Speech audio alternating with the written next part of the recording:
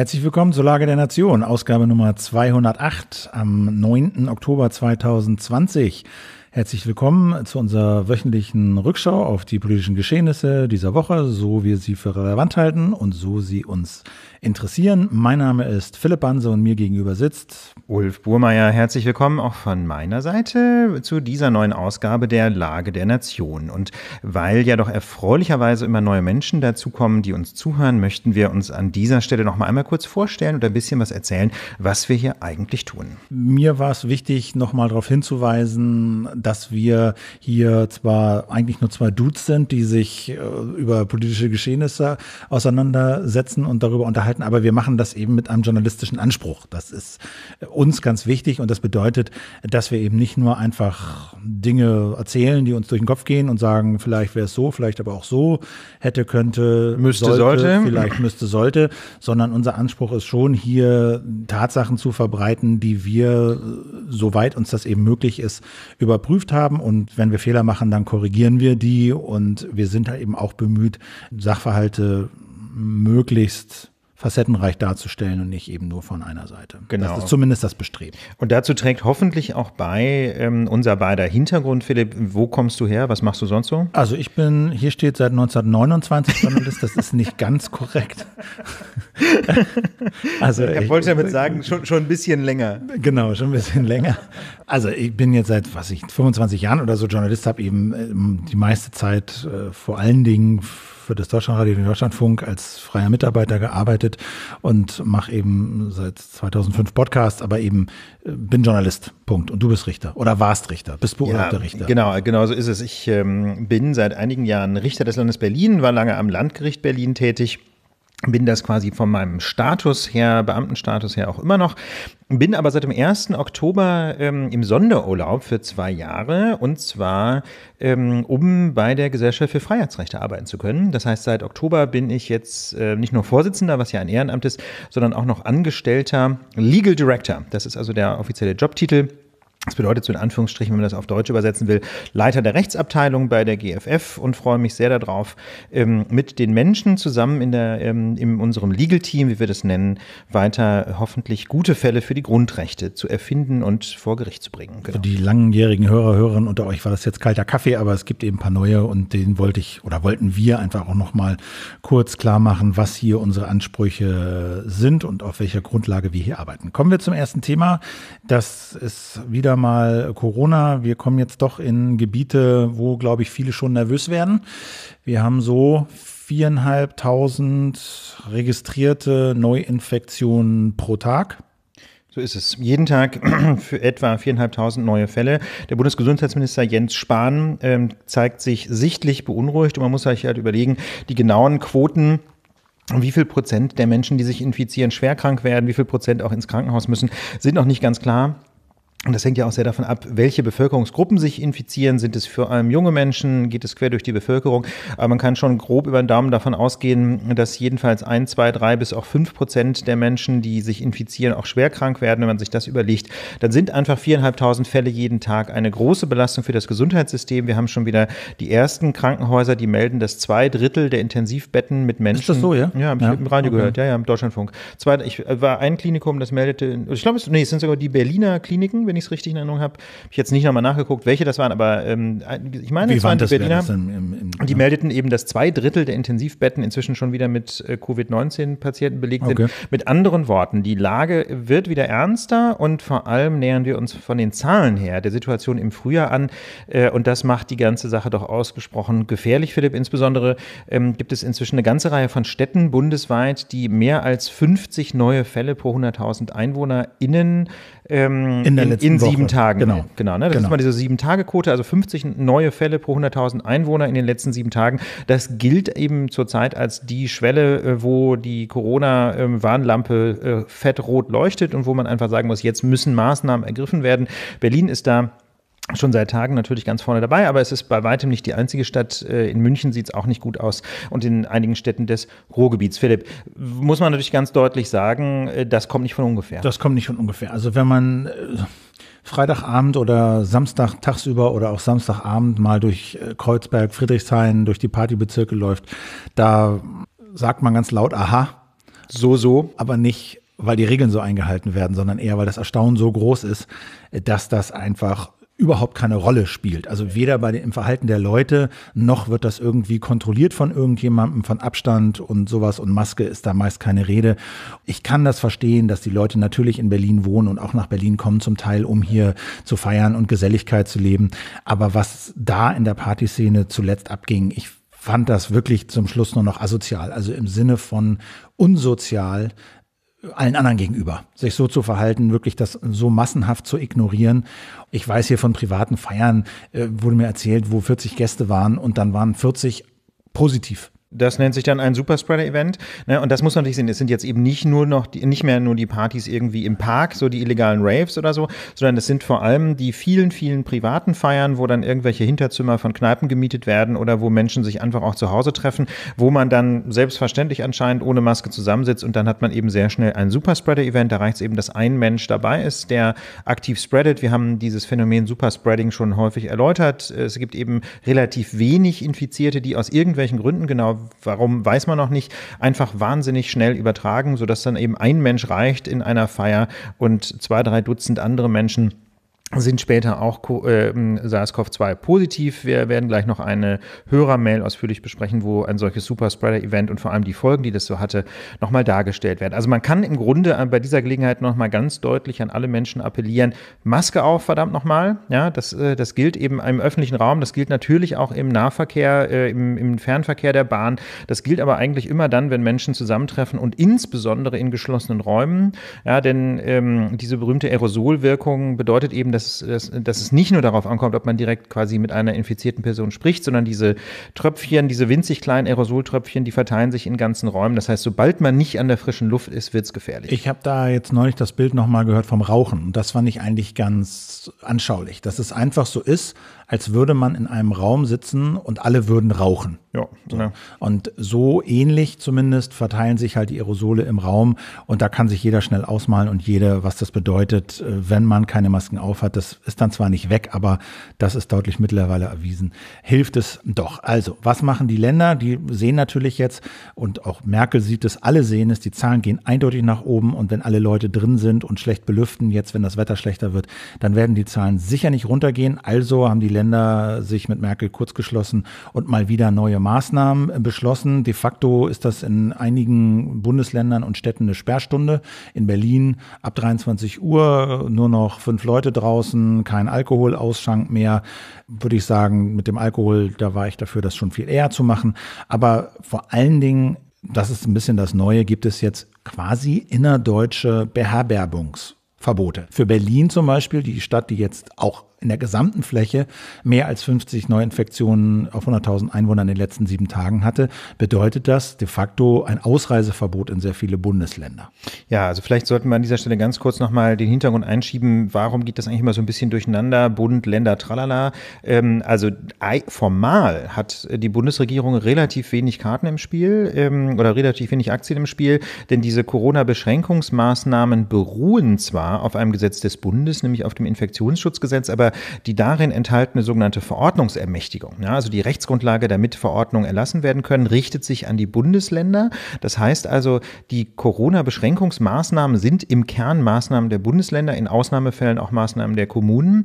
Aber ähm, wie kommt der Bund jetzt doch wieder ins Spiel? Na, über eine koordinierende Rolle. Es ist also sehr häufig so, dass die Bundesregierung einlädt zu Schaltkonferenzen zum Beispiel, in seltenen Fällen auch mal zu physischen Treffen, ähm, wo die äh, Vertre wo VertreterInnen der 16 Bundesländer sich dann mit ähm, jemandem von der Bundesebene zusammensetzen, mit dem Ziel, dass die einzelnen Ländermaßnahmen irgendwie miteinander koordiniert sind. Ja, das heißt also, formal sind die Länder zuständig, ähm, aber in der Praxis versucht man das bundeseinheitlich so weit wie möglich zu regeln. Aber Philipp, bei diesen Beherbergungsverboten zum Beispiel hat das schon mal nicht geklappt. Nein, das ist wieder so ein Beispiel. Es ist halt äh, Föderalismus. Es machen nicht alle Länder mit. Berlin nicht, Thüringen nicht, Mecklenburg-Vorpommern nicht, Bremen nicht, NRW nicht. Niedersachsen prüft wohl noch.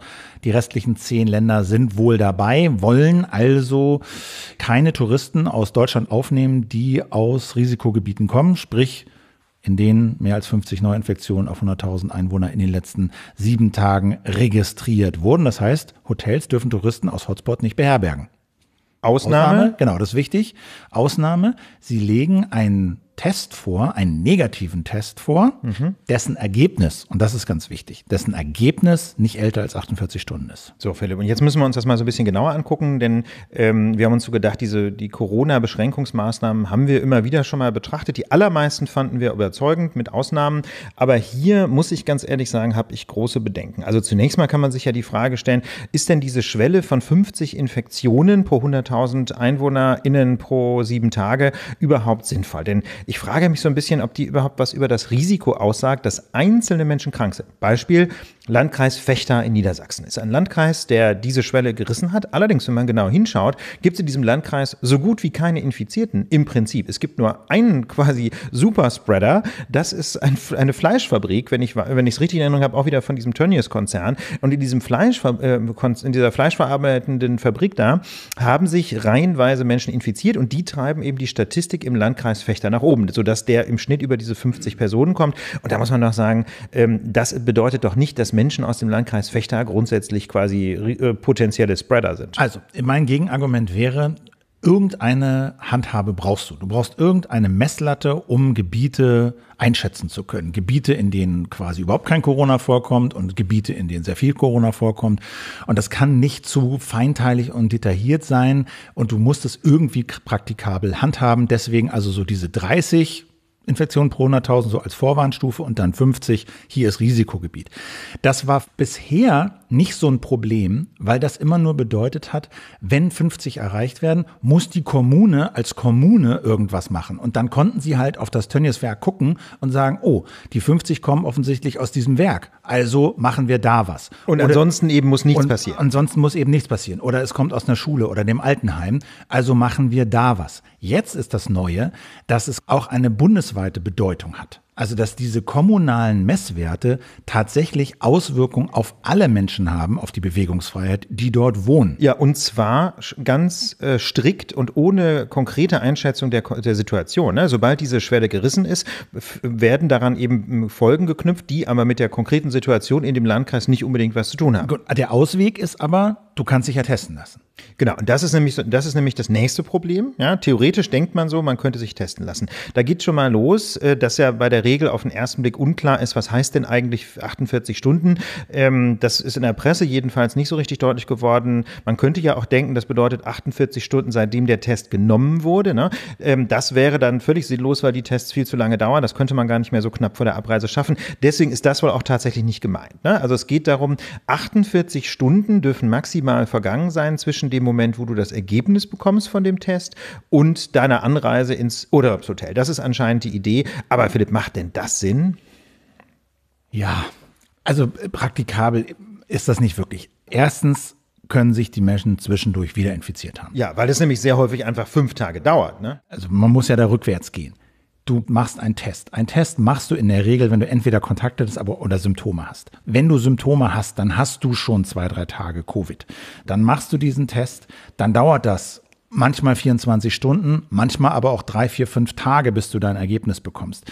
Und wenn du dann noch mal äh, zwei Tage, 48 Stunden wartest, das heißt, deine Infektion ist unter Umständen eine Woche oder zehn Tage her. Das heißt, du, war, du bist im Zweifel schon nicht mehr ansteckend, ja, wenn, wenn du äh, wenn, selbst wenn du positiv getestet warst. Eigentlich ist das so absurd, wegen der langen Wartezeit auf, auf manche Testergebnisse jedenfalls, dass man eigentlich fast sagen sollte, es dürfen nur die Leute verreisen mit positivem Test, weil die nämlich inzwischen wieder so weit gesundet sind, dass sie niemanden mehr anstecken können. Ne, also das zeigt so ein bisschen, dass ist ein, das klingt auf den ersten Blick erstmal gut, ähm, Beherbergungsverbot, aber dann mit Test wieder, wieder quasi freitesten. Aber das funktioniert in der Praxis nicht. Die Testergebnisse dauern zu lange, dann können sich die Menschen zwischendurch längst infiziert haben. Und, ähm, und wie gesagt, äh, der Infektionsfall, oder die, wie soll ich sagen, die Menschen sind ja vor allem am Anfang einer Infektion relativ bald ansteckend, dann später nicht mehr. Äh, das heißt, das passt auf jeden Fall nicht zusammen, muss man leider sagen. Also das heißt, diese Testerfordernis ist ein bisschen lebensfremd. Vor allen Dingen, ich habe das eben selber auch probiert, mal eben so schnell einen Test bekommen, ist gar nicht so einfach in Berlin. Beim Gesundheitsamt ist immer besetzt. Eine Fachärztin sagte, sollte die, die Sprechstunde, nee, sowas machen wir nicht für den Urlaub testen. Hausärztin war auch nicht zu greifen. Also das, glaube ich, ist das eine Problem, schnell mal in Berlin einen Test zu kriegen. Und dann können diese Tests einfach dauern. Und zwar unkalkulierbar lange. Kannst ja auch nicht sagen, ich mache jetzt mal vorsorglich einen Test, weil dann musst du ja innerhalb von 48 Stunden, nachdem du das Ergebnis bekommen hast, auch zu deinem Urlaubsort fahren. Wenn du den jetzt aber nach 24 Stunden bekommst und du willst erst in fünf Tagen fahren, dann kannst Problem Problem. normal hinlaufen. Also das macht alles überhaupt keinen Sinn. Aber ähm, wir wollen das, äh, wir wollen das aber auch noch mal so ein bisschen aus einer rechtlichen Perspektive beleuchten. Also auf, ein, äh, auf, einer, auf einer rein lebenspraktischen Ebene muss man sagen, ist das nicht durchdacht. Äh, mag das ja in der Theorie funktionieren, aber in der Praxis äh, der Tests eben nicht. Wir sagen später noch ein bisschen was zu äh, Erfahrungen, die HörerInnen noch mit diesen Tests gemacht haben. Ähm, aus, einer, aus einer juristischen Perspektive muss man sagen, ist das einfach äh, eine Frage der Verhältnismäßigkeit. Und ich komme ehrlich gesagt äh, zu dem Ergebnis, dass diese Beherbergungsverbote vermutlich nicht mehr verhältnismäßig sind, einfach weil sie einen, ähm, einen allzu schweren Eingriff bedeuten, dem keine nennens hinreichend gravierenden Vorteile entgegenstehen. Denn man muss mal sehen, also so ein Beherbergungsverbot ist einfach ein ganz gravierender Eingriff. De facto werden die Herbstferien abgeschafft. Ne? Du darfst jedenfalls, also außerhalb Deutschlands sowieso sinnvollerweise nicht mehr reisen, weil fast überall hinterher eine Quarantäne fällig wäre. Also du darfst reisen, aber das ja ist nicht realistisch. Reisen, ne? du ne? musst dich dann halt hinterher in Quarantäne begeben. Ja, bis halt 14 Tage aus dem Verkehr. Häufig. Macht, ja, ja, häufig. Ne? Und wenn und jetzt bleibt, ist es jedenfalls für Menschen aus vermeintlichen Risikogebieten auch innerhalb Deutschlands ein Riesenproblem, reisen zu gehen. Das heißt also, diese Menschen werden in ihrer Freizeitgestaltung, jetzt beginnen die Herbstferien, sehr eingeschränkt.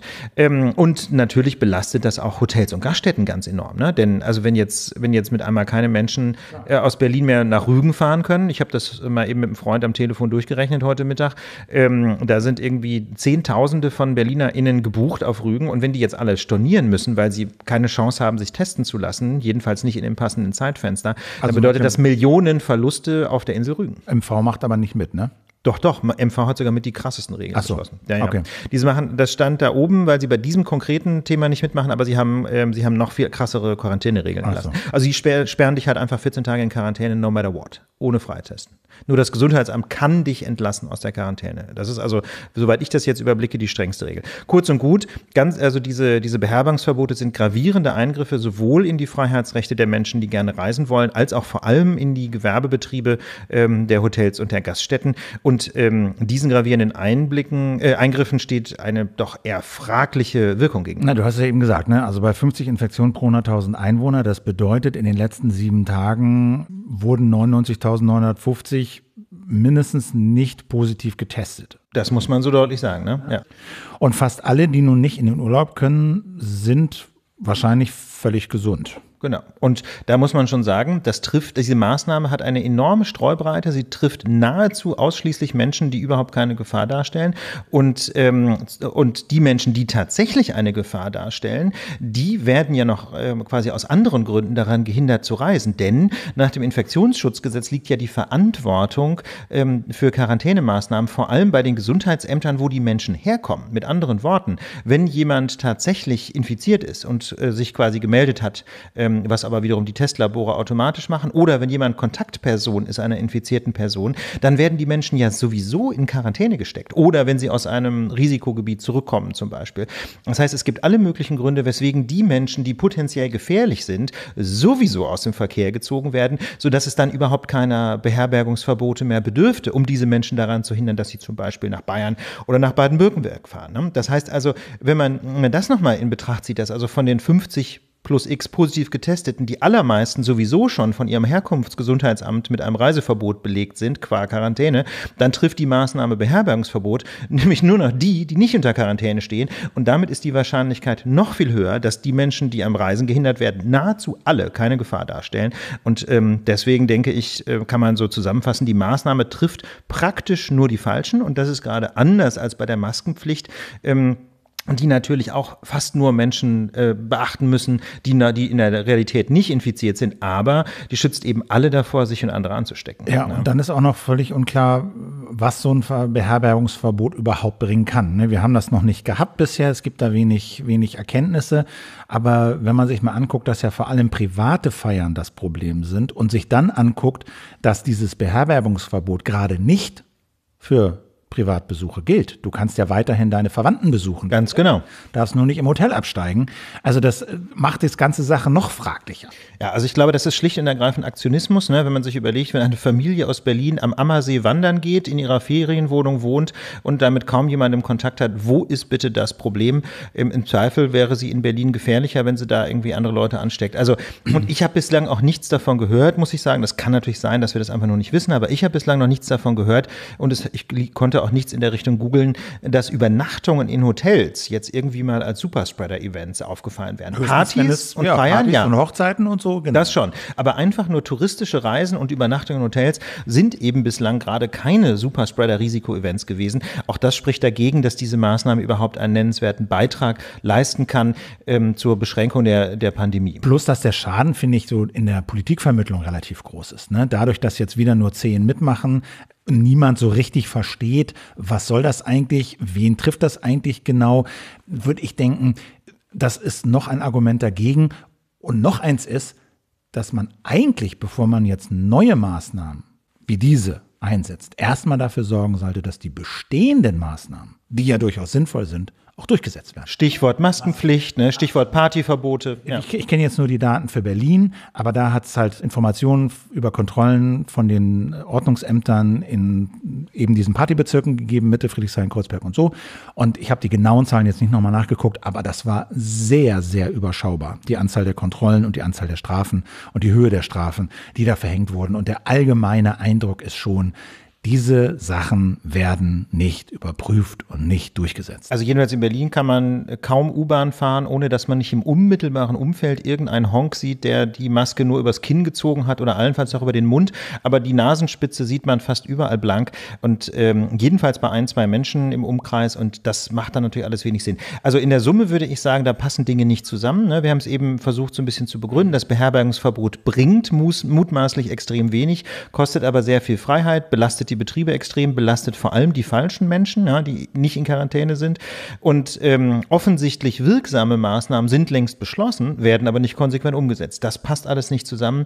Und deswegen würde ich in der Summe sagen, nach dem unsinnigen Verbot, alleine auf der Parkbank zu sitzen, ja, das Berlin mal im März verhängt hatte, und dem totalen Demo-Verbot, ja, selbst Demos mit Abstand, die ja auch sehr fragwürdig waren, ist das jetzt die nächste Maßnahme, ähm, die äh, ich aus, die ich für eindeutig rechtswidrig halte. Ich würde also allen Bundes Bundesländern raten, solche Maßnahmen nicht zu verhängen. Die Bundesländer, die das gemacht haben, sollten das ganz schnell wieder abschaffen. Und wäre ich Hotelier, ich würde klagen. Ja, man muss es ja nicht alleine machen, man kann sich ja an seinen, an seinen Verband wenden. Aber ich denke, das sind also Beschränkungsmaßnahmen, die einfach übers Ziel hinausschießen. Da passt, äh, da passt alles Mögliche nicht zusammen. Und Philipp, du hast es eben gesagt, Corona-Maßnahmen setzen eben auch Akzeptanz in der Bevölkerung voraus. Und ich glaube, hier ist die Politik einfach deutlich übers Ziel hinausgeschossen. Da sollte man, finde ich, ganz schnell nachsteuern. Wir bleiben noch ganz kurz bei diesem Thema eher aus so einer praktischen Perspektive, auch weil wir das hier am eigenen Leib so ein bisschen mitbekommen haben zu diesen Tests. Das haben wir ja eben schon gesagt. Die Frage ist, wie ist das eigentlich mit den Tests in der Praxis? Man denkt immer so, ja, wir haben jetzt große Kapazitäten und Tests spielen jetzt offensichtlich eine wachsende Rolle und so, aber wir kriegen so viele Meldungen, sowohl direkt an uns als auch vermittelt durch Medien, die darauf hinweisen, dass selbst in diesem Testsystem doch ganz schön Sand im Getriebe ist und da so einiges nicht funktioniert, von dem man glauben sollte, dass sie jetzt wie lange? Acht Monate, so über den Daumen, sieben, acht Monate. Mit einer langen Sommerpause, in der wir, was weiß ich, drei, 400, 500, 600 neu registrierte Fälle pro Tag hatten, dass das doch besser laufen sollte. Und richtig in den Salat getreten sind wir mit deiner Erfahrung. Ja, ist ganz interessant. Ich hatte, ich habe ja immer erzählt, ich bin äh, seit 1. Oktober beurlaubt bei der Justiz. Ich habe dann also die letzten zwei Septemberwochen nochmal Urlaub genommen und äh, habe mir dann überlegt, na, wo fährst du denn mal hin? Wo ist denn noch kein Risikogebiet? Bin mit nach, dem Zug natürlich. Mit dem ne? Zug selbstverständlich. Ne? Fliegen mag ich ja nicht, ähm, insbesondere nicht innerhalb Europas. Na gut, also bin ich schön in den Zug gestiegen, nach Kopenhagen gefahren, war allerdings noch nicht ganz da, als das leider auch zum Krisengebiet erklärt wurde. Und dementsprechend musste ich dann, als ich zurückkam, natürlich erstmal in Quarantäne. Ich bin dann am Hauptbahnhof, sofort in Berlin, als ich wieder zurückkam, ähm, zum Testcenter gegangen. Na, da war dann irgendwie eine Stunde geschlossen wegen Pause. Aber gut, ähm, wie dem auch sei, jedenfalls das Testen als solches hat im Grunde gut geklappt, hat auch nicht wehgetan, wollte ich nochmal sagen. Wir hatten ja mal so ein bisschen die Frage gestellt, wie unangenehm ist das? Also das hat wirklich gut geklappt. Ähm, und Rachenabstrich und dann ab ins Röhrchen. Genau, genau, es wird einem halt so ein bisschen, man muss so ein bisschen würgen, ne, wenn, wenn da einem einer im Rachen rummacht, aber das war jetzt eigentlich kein Problem. Äh, hat auch nicht sehr lange gedauert, das Warten. Und vor allem war es sehr erfreulich, ähm, dass ich mit der Corona-App tatsächlich einen QR-Code einscannen konnte, ähm, sodass das Ergebnis dann hinterher auch aufs Handy übermittelt werden konnte. Ne? Also das waren die positiven Erfahrungen, das hatten sie soweit im Griff und der Test war außerdem auch noch kostenlos. Musstest du ein Häkchen setzen bei, ich will informiert werden über die App? Ich konnte halt scannen oder nicht scannen. Ich hatte halt einen QR-Code bekommen. Wenn ich den nicht gescannt hätte, dann hätte man mir das auch nicht schicken können. Ne? Aber ich musste den halt einscannen, habe ich gemacht.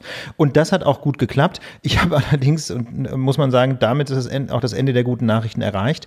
Ähm, ich habe diesen Test an einem Sonntagabend gemacht und ich habe mein Ergebnis fast eine Woche später bekommen, nämlich erst am Freitag über die App. Ne? Also fünf Tage später. Fünf, fünf, fünf Tage später kam, ähm, kam dann über die App die Nachricht, dass ein Testergebnis vorliegt. Ich hatte natürlich bis dahin tausendmal geguckt und man muss sich das überlegen. Ich konnte so lange natürlich nicht aus der Bude. Ich durfte ja nicht mal einkaufen. Ne? Also das ist schon eine ganz erhebliche Belastung. Und wieso das fünf Tage dauern musste, also gut, ich hatte jetzt Urlaub, ne? ich habe es mir halt zu Hause gemütlich gemacht. Ja, aber das aber kann, das kann nicht sein. richtig sein, denn mal ganz ehrlich, wenn ich jetzt in irgendeiner Art und Weise unter Druck gestanden hätte, ich stelle mir mal vor, ich wäre jetzt selbstständiger äh, Berater gewesen ähm, und ich hätte keine Ahnung, Kundentermine gehabt, ein paar tausend Euro Honorare wären da irgendwie in Rede gewesen.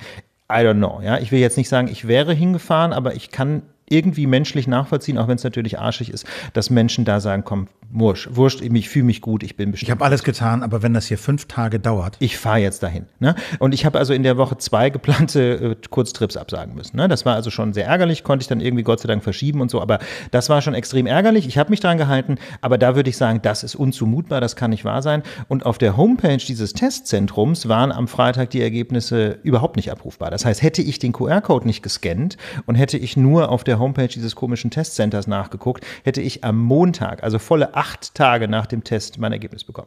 Also das ist schlicht und ergreifend indiskutabel.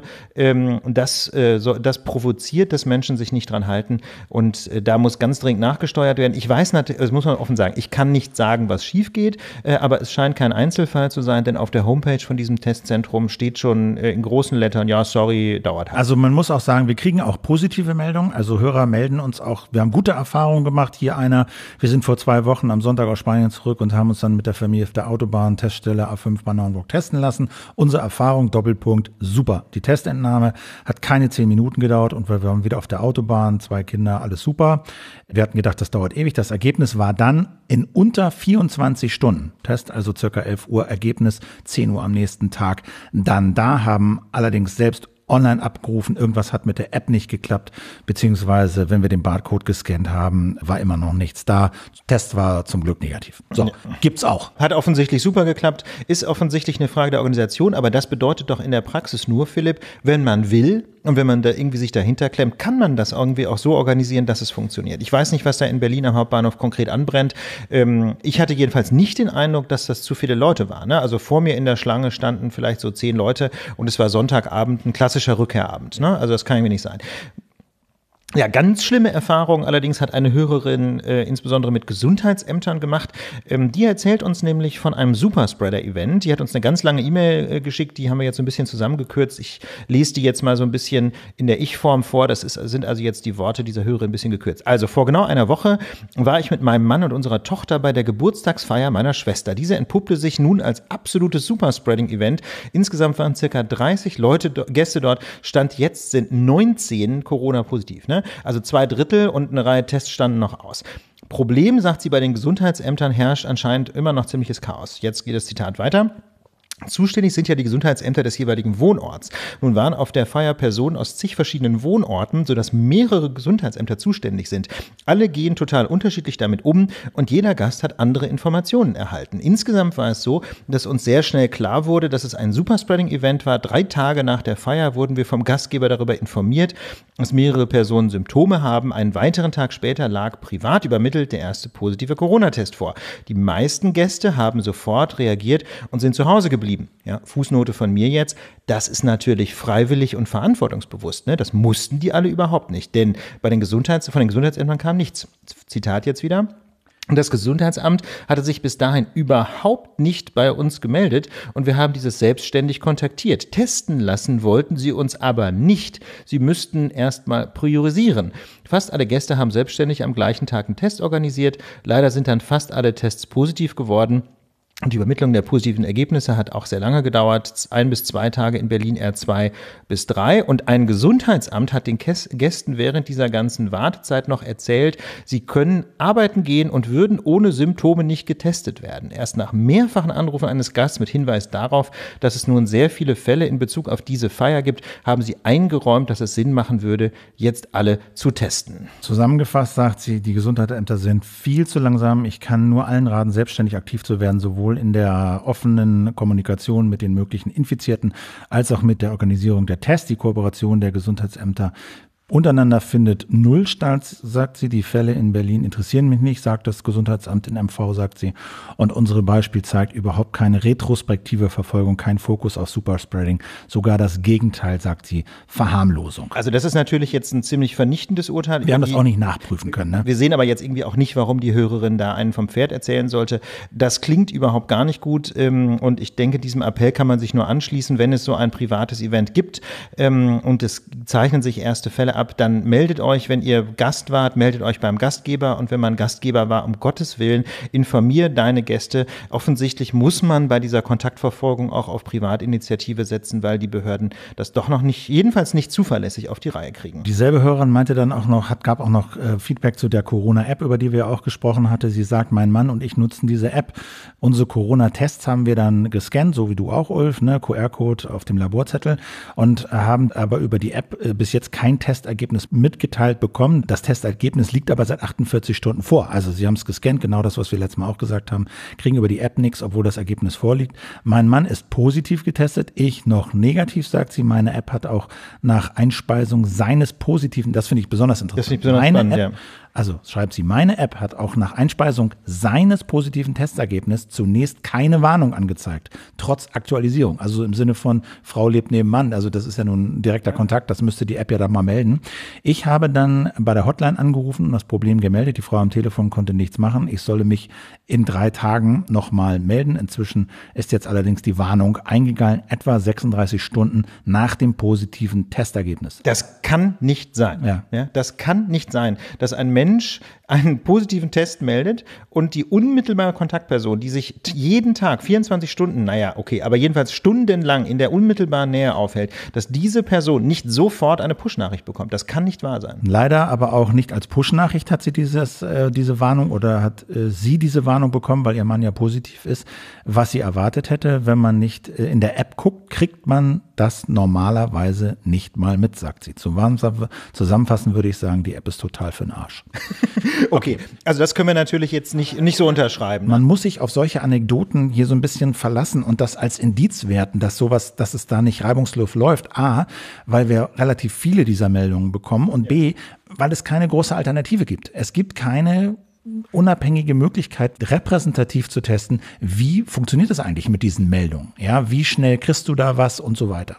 Das ist, ist wirklich schwierig. Man, selbst wenn man sich selber positiv testet und das meldet und bei seinen Kontakten kriegt, dann ist das im Zweifel wieder ein Einzelfall. Deswegen weisen wir da auch noch mal darauf hin, da ist offensichtlich einiges im Argen. Mir ist, das so, mir ist das so ein ganz kleines bisschen unlieb, das so stehen zu lassen. Also natürlich hat die Hörerin eine sehr schlechte Erfahrung gemacht und du hast es gesagt, wir sind auf diese Anekdoten angewiesen. Ich würde aber vor der Konsequenz warnen, dass man diese App jetzt nicht installiert, sondern ganz im Gegenteil. Ähm, ich würde damit zwei Appelle verbinden. Appell A, alle Menschen müssen verdammt nochmal diese App installieren. Dann, nur dann kann sie das ganze System funktionieren. Und B, ähm, die Verantwortlichen für dieses App-System müssen einfach diese, diese Probleme ernst nehmen und sich ernsthaft die Frage Frage stellen, wo genau hakt es, dass ein, negatives, äh, ein positives Testergebnis nicht sofort rausgepusht genau, wird. Genau, also weil die App schadet ja nicht. Genau. Also man muss die installieren und man hat sie und sie schadet auf gar keinen Fall. Wir verlangen nur, dass sie mehr liefert, als sie tut. Ja, und ich meine, hier haben wir im Grunde fast schon fast Laborbedingungen. Ne? Perfekte Nähe zwischen zwei Handys, die sich ständig begegnen. Da, das ist aus Sicht dieser, dieser Kontaktverfolgung per App der absolute Idealfall. Und wenn da diese Warnung nicht funktioniert, dann muss man einfach sagen, dann liegt irgendwas richtig im Argen. Ähm, deswegen, liebe App-Betreiber, liebes Bundesgesundheitsministerium, nebst Vertragspartnern T-Systems und SAP, bitte guckt da nochmal hin, denn äh, wir sehen es ja, die, ob das jetzt noch äh, die erste Welle ist, die wieder, wieder angeschwollen ist oder ob wir die zweite Welle haben, ist letztlich wurscht. Wir sehen jedenfalls, es gibt eine große Corona-Welle und ähm, wir brauchen einfach eine, eine vernünftige Kontaktnachverfolgung. Die Gesundheitsämter schaffen es nicht. Auch das sieht man sehr deutlich. Insofern denke ich, sind wir einfach als Gesellschaft auch auf diese App angewiesen. Und die muss einfach funktionieren, in, wenn, wenn sie schon so unter Laborbedingungen äh, quasi mal probiert wird. Wir haben das letzte Woche nur recht kurz angesprochen, weil es damals noch recht frisch war, aber auch Donald Trump war Covid äh, erkrankt. Mittlerweile ist er angeblich wieder schon gesund. Also hier das Wichtigste in Kürze, hätte ich fast gesagt. Freitag, als wir die Lage aufgenommen haben, wurde er also mit Covid ins Militärkrankenhaus eingeliefert, wurde dort mit zahlreichen, zum Teil recht experimentellen Medikamenten äh, behandelt. Und einige von diesen Medikamenten sind bisher zumindest nur für schwere Verläufe vorgesehen angesehen worden. Dann stellte sich irgendwann der behandelnde Arzt vor die Presse und sagte, ja, also wir haben hier Herrn Trump, aber im Prinzip alles super, gute Laune, eiert halt bei der Frage rum, ob der Präsident mit Sauerstoff, wie gesagt, man behandelt wurde und versorgt wurde.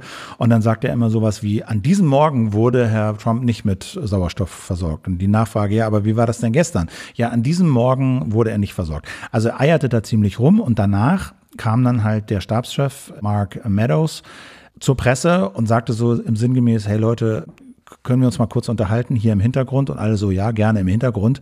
Dabei übersah aber der Stabschef, dass einige Kameras noch auf live geschaltet waren und erzählte also, wie die Lage mit Donald Trump wirklich ist.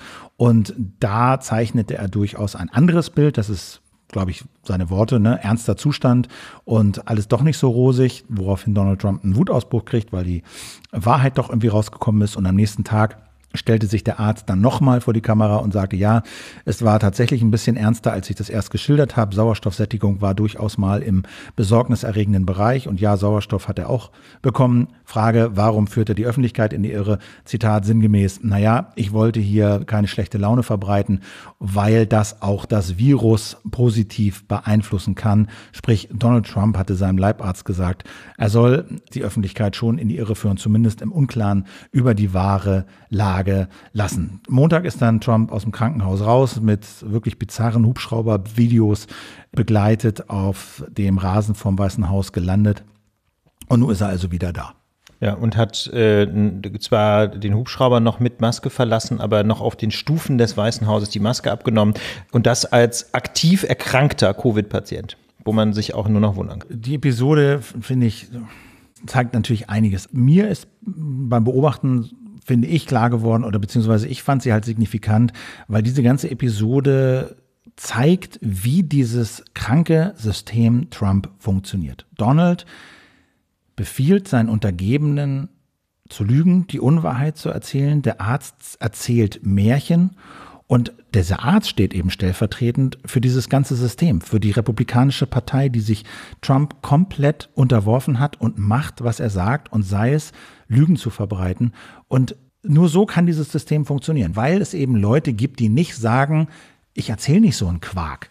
Und dein Gesundheitszustand ist nicht deine Privatangelegenheit, sondern du bist Präsident und wir müssen die Öffentlichkeit wahrheitsgemäß informieren. Nur weil diese Leute dort mitspielen. Und ja, der Arzt war sein Untergebener. Er ist Militärarzt. Und Trump ist der Oberbefehlshaber der Truppen. Aber trotzdem kann, funktioniert dieses System nur, weil solche Leute es gibt, die da mitspielen.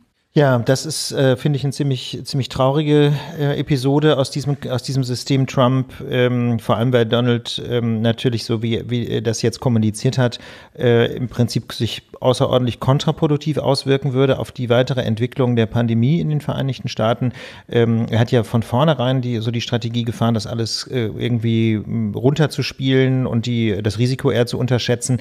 Jetzt ist er mit einer außerordentlichen Therapie vermutlich tatsächlich relativ glimpflich davon davongekommen. Jedenfalls Stand heute. Er kann natürlich noch einen Rückfall erleiden. Ne? Also richtig heikel werden die Covid-Fälle ja eher so um den Tag 10, 11. Ne? An dem ist er wohl noch nicht. Ich glaube ihm kein Wort. Du glaubst ihm kein Wort? Du glaubst, er war nicht krank? Das glaube ich schon. Ich glaube, er war krank.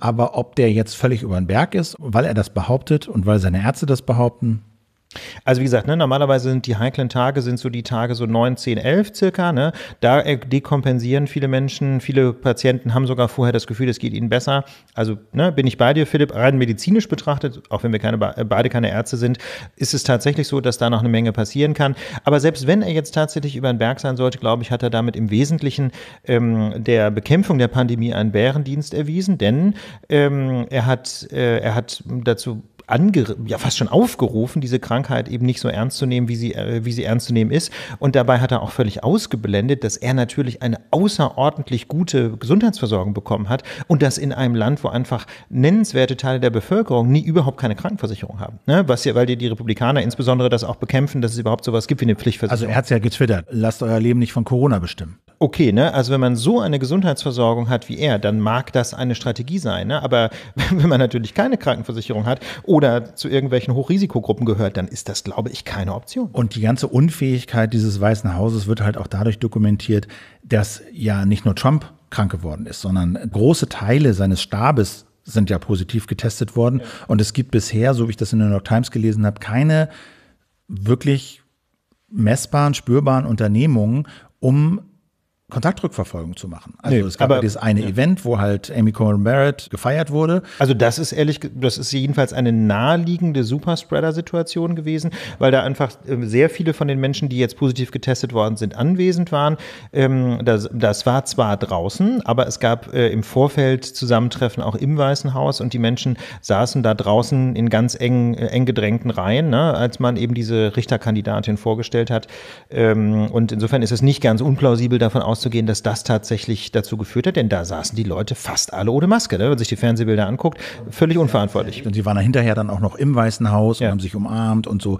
Also da kommt doch eine ganze Menge zusammen, was die Probleme dieser Regierung offenbart und wie unter einem Brennglas zeigt. Jetzt ist so ein bisschen offen, die nächste Debatte soll, die TV-Debatte zwischen Biden und Trump sollte, glaube ich, am 12. oder 15. 15. 15. Oktober stattfinden. Ja. Und dieses unabhängige Komitee zur Organisierung dieser Debatten hat wohl beschlossen, das virtuell durchzuführen. Trump ist dagegen. Man wird sehen, wie das dann verläuft. Apropos Donald Trump, ähm, da haben wir uns noch eine ganz, ganze Menge Fragen gestellt. Ähm, unter anderem nämlich zum Beispiel, ob er das Weiße Haus friedlich verlassen wird, sofern er die Wahl verliert, ob er überhaupt eingestehen wird, die Wahl verloren zu haben oder wird er möglicherweise sogar die Auszählung sabotieren. Welchen Sta Schaden an der amerikanischen Demokratie hat Donald Trump heute schon angerichtet?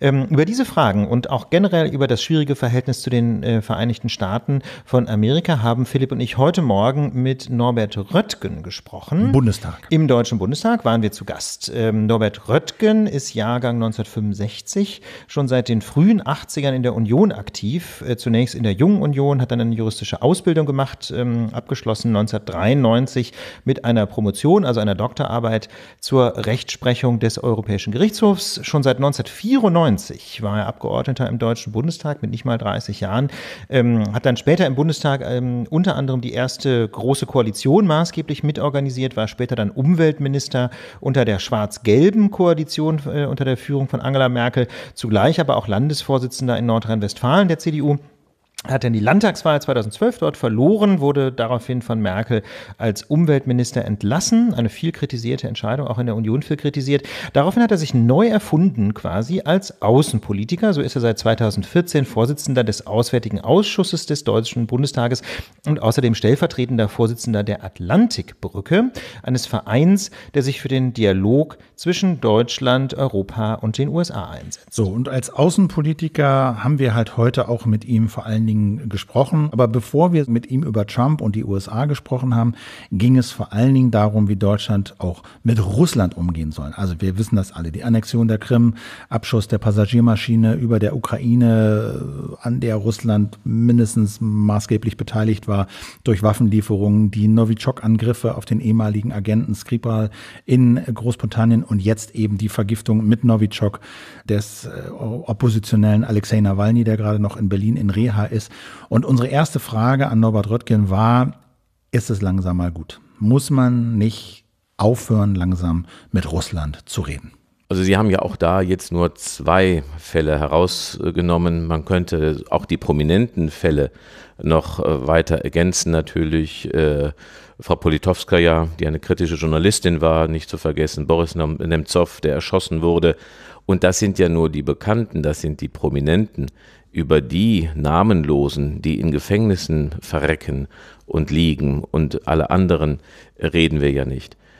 Trotzdem äh, glaube ich. Tiergartenmord nicht zu vergessen, jetzt vom Kammergericht. Genau, also ich, ich, wollte nur ja. darauf hinweisen, dass, dass es jetzt nicht um drei Fälle geht, sondern es geht um eine Vielzahl von prominenten Fällen, die aber wiederum nur ein Bruchteil natürlich der nicht prominenten, der namenlosen ist, ähm, die ermordet werden, im Gefängnis sitzen ohne Anklage und, und so weiter. Aber Sie haben ja gefragt, ist dann die Konsequenz, dass wir, kein, dass wir nicht mehr sprechen äh, mit Russland? Zum Beispiel. Das war Ihre Frage. Und das halte ich für falsch. Ähm, Russland ist eine Realität, mit der wir sprechen müssen. Ähm, äh, denn durch Nichtsprechen wird nichts besser, sondern alles schlechter. Man muss miteinander reden. Mein Plädoyer ist nur, dass wir wissen, mit wem wir reden. Also ist mein Plädoyer für Realismus. Auch, dass es dann Konsequenzen gibt aus bestimmten Verhalten. Äh, das ist mein Plädoyer. Aber ich bin, bin total gegen Gesprächsverweigerung. Das ist das Ende von Politik. Das können wir uns auch nicht leisten. Ähm, auch weil Russland eine Realität ist. Auch weil Russland Probleme erzeugt, deren Lösung wiederum nur mit Russland möglich sind. Ob das nun in Europa ist, in der äh, Ukraine oder ob das im Mittleren Osten ist, in Syrien oder in Libyen.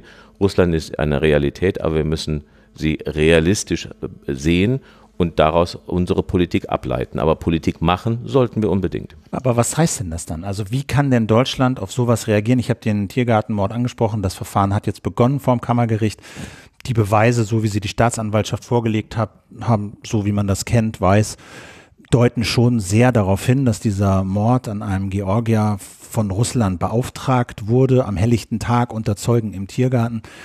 Nawalny haben wir angesprochen, auch äh, europäische Institutionen haben jetzt nachgewiesen, Novichok war es. Novichok gibt es eigentlich nur richtig in Russland und von Staaten, von staatlichen Seiten beaufsichtigt. Wie soll Deutschland reagieren? Äh, Deutschland sollte in unterschiedlicher Weise reagieren. Erstens ähm, sollte Deutschland als dafür sorgen, dass äh, Europa reagiert, dass wir mit dem, was wir tun, ein Teil der europäischen Reaktion sind. Das ist durchaus etwas eher Neues, nicht vollständig. Die Sanktionen, die in der EU beschlossen worden sind als Reaktion auf die Annexion der Krim und die, äh, das äh, Eindringen, das militärische Eindringen der Ostukraine sind ja europäische Sanktionen, aber es gibt auch immer äh, sozusagen den Ansatz, das bilateral zu machen und nicht europäisch. Die Vergiftung von Nawalny hat ein europäisches Momentum erzeugt. Und es hängt ganz stark wieder an Berlin, an Deutschland, ob es wahrgenommen wird oder ob man es verstreichen lässt.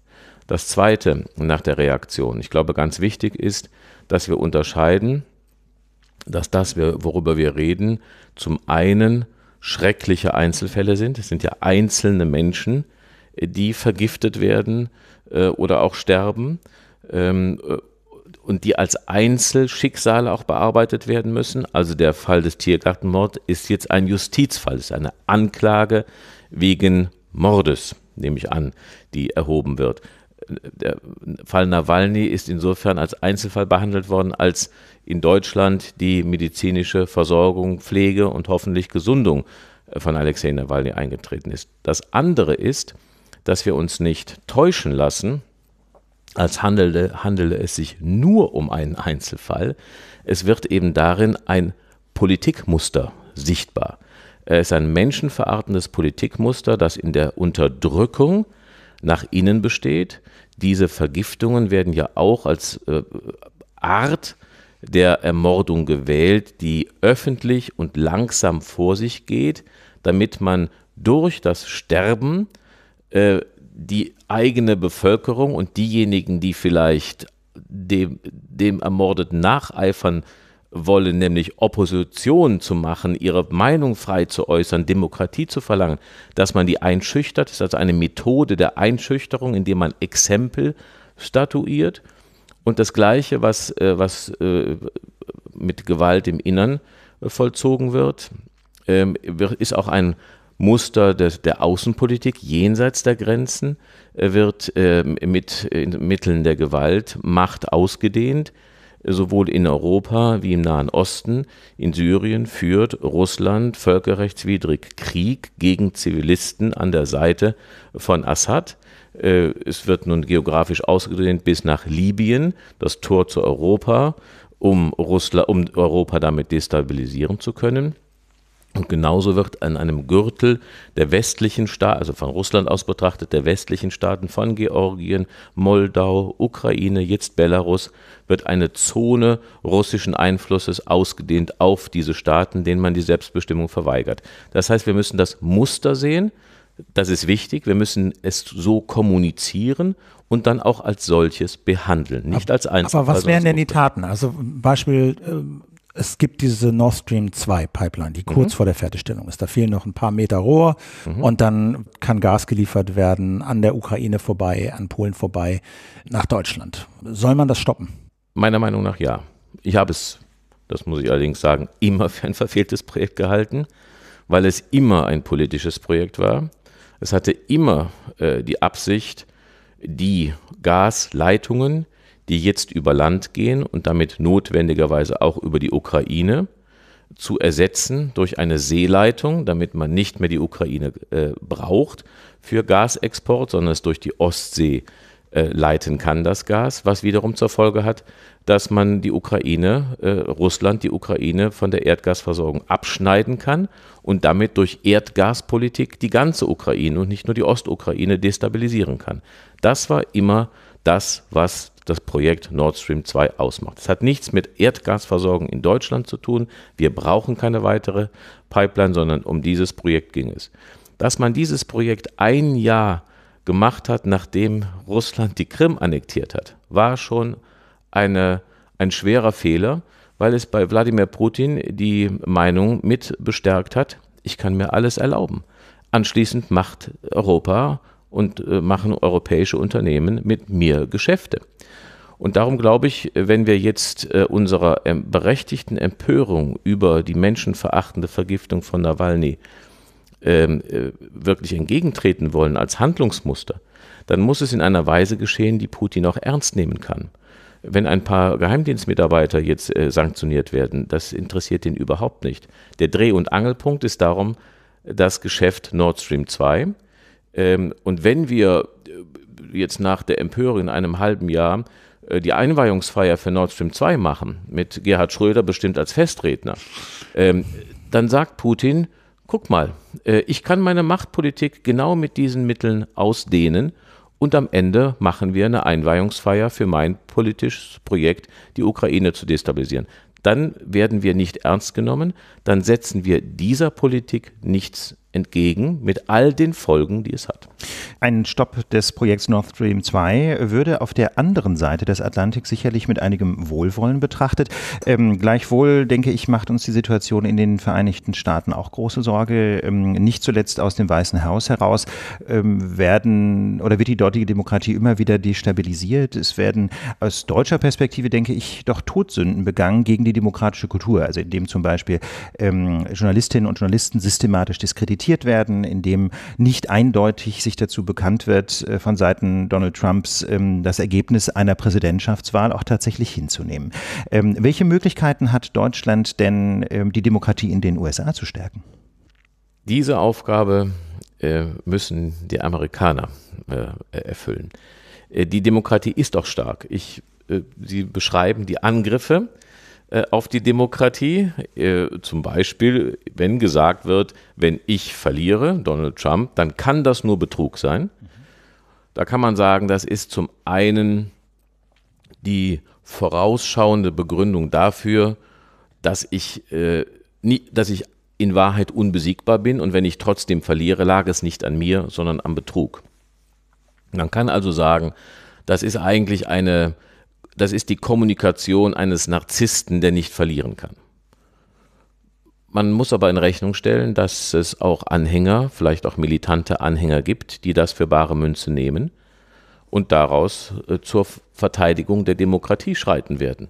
Denn es war ja dann eine gestohlene Präsidentschaft durch mhm. Betrug. Gehen Sie davon aus, dass das passiert, wenn er verliert? Davon kann man äh, nicht, man, nicht, also das, das ist, äh, das weiß ich nicht und ich hoffe es natürlich nicht. Aber dass äh, diese, äh, wenn das durch den, sagen, wenn das, dass es Aggression gibt, so will ich mal sagen, dass es und dass es Polarisierung, dass es Hass gibt, das ist das Eigentliche, was ich beobachte, was sich auch im amerikanischen politischen System übrigens schon vor Donald Trump eingeschlichen hat. Dieser Dieses, starke Antagonismus zwischen den Parteien. Das ist freundlich formuliert, der starke Antagonismus. Das Hass, ja, ja, es stimmt, aber es ist eben noch mehr. Es ist Hass, es ist Hass, es ist Aggression. Es ist, ich kann nicht akzeptieren, wenn der andere gewinnt. Ich kann auch im äh, Kongress mit denen keine Kompromisse mehr machen. Das ist der eigentlich besorgniserregende Zustand, der auch ja ausgedrückt wurde und sichtbar wurde in dem ersten Fernsehduell zwischen Trump und Biden. Das sind ja die beiden Männer, die sich um das mächtigste Amt der Welt bewerben. Immer noch. Und das System dort ist nicht in der Lage und auch eine TV-Debatte ist nicht in der Lage, sicherzustellen, dass auch nur über ein einziges Thema mal sachlich gesprochen wird. Demokratie lebt aber von Diskurs, von Diskussion, von Argumenten. Das wird alles beseitigt. Und, und das, wenn ich das noch ja. sagen darf, ich glaube trotzdem, wir haben, und es gibt eine starke Demokratie in den USA, es gibt eben Widerstandskräfte und das ist eben immer noch der Unterschied. Am 3. November haben die amerikanischen Wählerinnen und Wähler eine Entscheidung. Und das ist in den wenigsten Ländern dieser Welt der Fall. Angenommen, also Joe Biden gewinnt, es findet ein einigermaßen friedlicher Machtwechsel statt, eine Machtübergabe. Was wird der dauerhafte Schaden sein, den Trump angerichtet hat? Dass Trump möglich war. Was heißt das? Es war ja, ja dass, dass er durch eine Wahl ins Amt gekommen ist, obwohl, das muss man ja mal fairerweise sagen, also mehr oder weniger das, was dann kam, von Trump vorher gesagt wurde. Ähm, Trump war, wenn man, das, das, muss man mal in Rechnung stellen, dass das, was Trump ist, ähm, das, das hat Trump nicht wirklich verheimlicht vorher, was man von ihm erwarten könnte. Es, es war noch nie da, darum sagen, die, die Unberechenbarkeit und alles, was wir gesehen haben, auch äh, direkte Angriffe, äh, auf Journalisten, auf die Presse und so weiter. Äh, das war noch nie da. Das heißt, das Erleben war vielleicht ein erstmaliges. Aber was von ihm zu erwarten war, so mehr oder weniger, darüber hat er keine großen Geheimnisse vorher gemacht.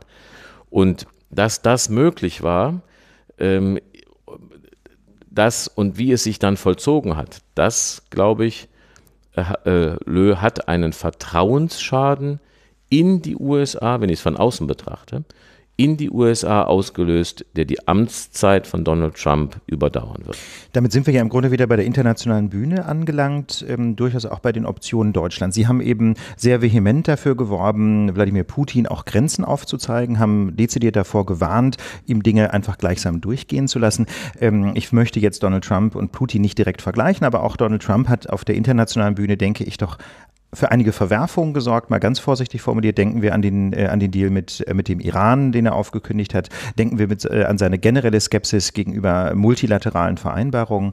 Ähm, wäre es nicht auch hier ähm, an, der, an der Zeit, ähm, aus einer deutschen Perspektive klarere Kante zu zeigen für multilaterale Ordnungen, für das Einhalten von Verträgen zum Beispiel? Und wie kann das konkret aussehen? Also zunächst nochmal möchte ich unterstreichen, was Sie sagen. Ähm, es ist legitim, gegen Multilateralismus zu sein. Man kann sagen, es ist ziemlich dumm und es entspricht nicht der, der Lage der Welt und der Lösung äh, und wie man Probleme lösen kann. Aber es ist legitim. Äh, es ist sogar legal. Absolut. Also es gibt einen legalen Rahmen gegen äh, Multilateralismus. Ich muss eben keinen Vertrag schließen. Es ist aber weder legal noch legitim, Menschen zu vergiften. Genau, deswegen habe ich diesen Unterschied ja auch gemacht. Ja, ich wollte ihn ja. nur noch mal unterstreichen, ja. äh, worin er besteht. Man darf auch das Atomabkommen mit dem Iran mhm. äh, kritisieren und für falsch halten. Das wollte ich so. Äh, aber es ist trotzdem nicht unsere Politik, sondern unsere Politik ist die, dass äh, die Welt, die äh, immer näher zusammenrückt, die immer ab, wechselseitig abhängig voneinander wird, immer interdependenter wie man sagt, dass diese Welt äh, ja auch eine Einladung zur Offenheit ist, zum Austausch mit, den, mit riesigen Möglichkeiten, äh, die, die noch nie vorher bestanden, aber auch mit enormen Gefahren, äh, die damit verbunden sind. Und dafür braucht man Umgangsformen, dafür braucht man Regeln des Umgangs und darum sind, ist die deutsche Politik auf das Multilaterale, also auf die äh, auf, das, auf die Kooperation und, und eine Regelorientierung ausgerichtet. Das müssten wir, glaube ich, noch viel stärker praktizieren. Bundesaußenminister Maas hat ja eine Initiative für den Multilateralismus gestartet, hat viele Länder damit äh, darunter auch äh, versammelt. Jetzt gilt es, glaube ich, äh, das, was wir für richtig halten, auch mit Inhalt zu füllen. In ganz unterschiedlichen Ansätzen und Bereichen. Das halte ich für wichtig. Ja, das war ein sehr, sehr anregendes Gespräch mit Norbert Röttgen. Was wir jetzt gespielt haben, war nur ein relativ kurzer Ausschnitt daraus. Wir waren ja im Deutschen Bundestag eingeladen ähm, und dachten, wenn wir da schon hinfahren und äh, ein Interview aufnehmen, dann wollen wir auch nicht nur 15 Minuten reden. Also man muss sagen, wir hatten ihn um das Interview gebeten. Ne? Wir hatten angefragt und dann hieß es halt, ja, können wir machen, aber dann kommt doch vorbei. Genau, und dann haben wir uns gedacht, wenn wir da schon hinfahren und eine richtige Interviewsituation aufbauen und so, dann wollten wir auch nicht nur 15 Minuten reden. Ähm, haben deswegen so eine gute Stunde aufgenommen, aber das ist natürlich zu viel für eine Live Fragefolge. Und deswegen haben wir uns überlegt, ähm, wir machen aus diesem langen Interview mit Norbert Röttgen, aus dem wir jetzt einen Ausschnitt gespielt haben, quasi nochmal ein Dankeschön für die Menschen, die uns mit einem Abo unterstützen. Ähm, das heißt, das vollständige Interview gibt es dann im Laufe des Wochenendes äh, für äh, unserem Plus-Kanal. Erscheint wahrscheinlich morgen oder so. Ähm, aber ähm, es kommt auch noch für alle anderen irgendwann mal im freien Kanal. Mal gucken. Wir haben also noch viele Themen angesprochen. Nicht nur Russland und USA, sondern wir haben auch noch über Julian Assange geredet, über über Röttgens Pläne für Klimaschutz, ja, weil er ja auch für die, um den Vorsitz der CDU kandidiert und damit ja auch ein potenzieller Kanzlerkandidat ist. Also über seine Pläne für Steuerreform, für Klimapolitik und so. Also wir haben da eine ganze ja. Reihe von Politikfeldern abgegriffen. Vermögenssteuer, Vermögenssteuer, ja oder nein? Ja oder ja. nein. Und es war wirklich, muss man sagen, äh, also es hat Spaß gemacht. Es war, wir waren uns nicht immer einer Meinung, aber das war eine interessante Debatte. Ja, das muss man sagen. Es war ein sehr, sehr spannendes Gespräch. Ich hatte auch von einer Freundin Freundin noch den Tipp bekommen, die mit ihm äh, in, in, seiner Eigenschaft als Anwalt zusammengetroffen war, dass sie sagt, was einfach ein total spritziger, intelligenter Mensch, den solltet ihr mal interviewen und äh, kann ich nur unterschreiben. Das war ein schönes äh, Interview. Wie gesagt, könnt ihr euch ähm, in Plus-Kanal anhören, ab wahrscheinlich Samstag oder Sonntag.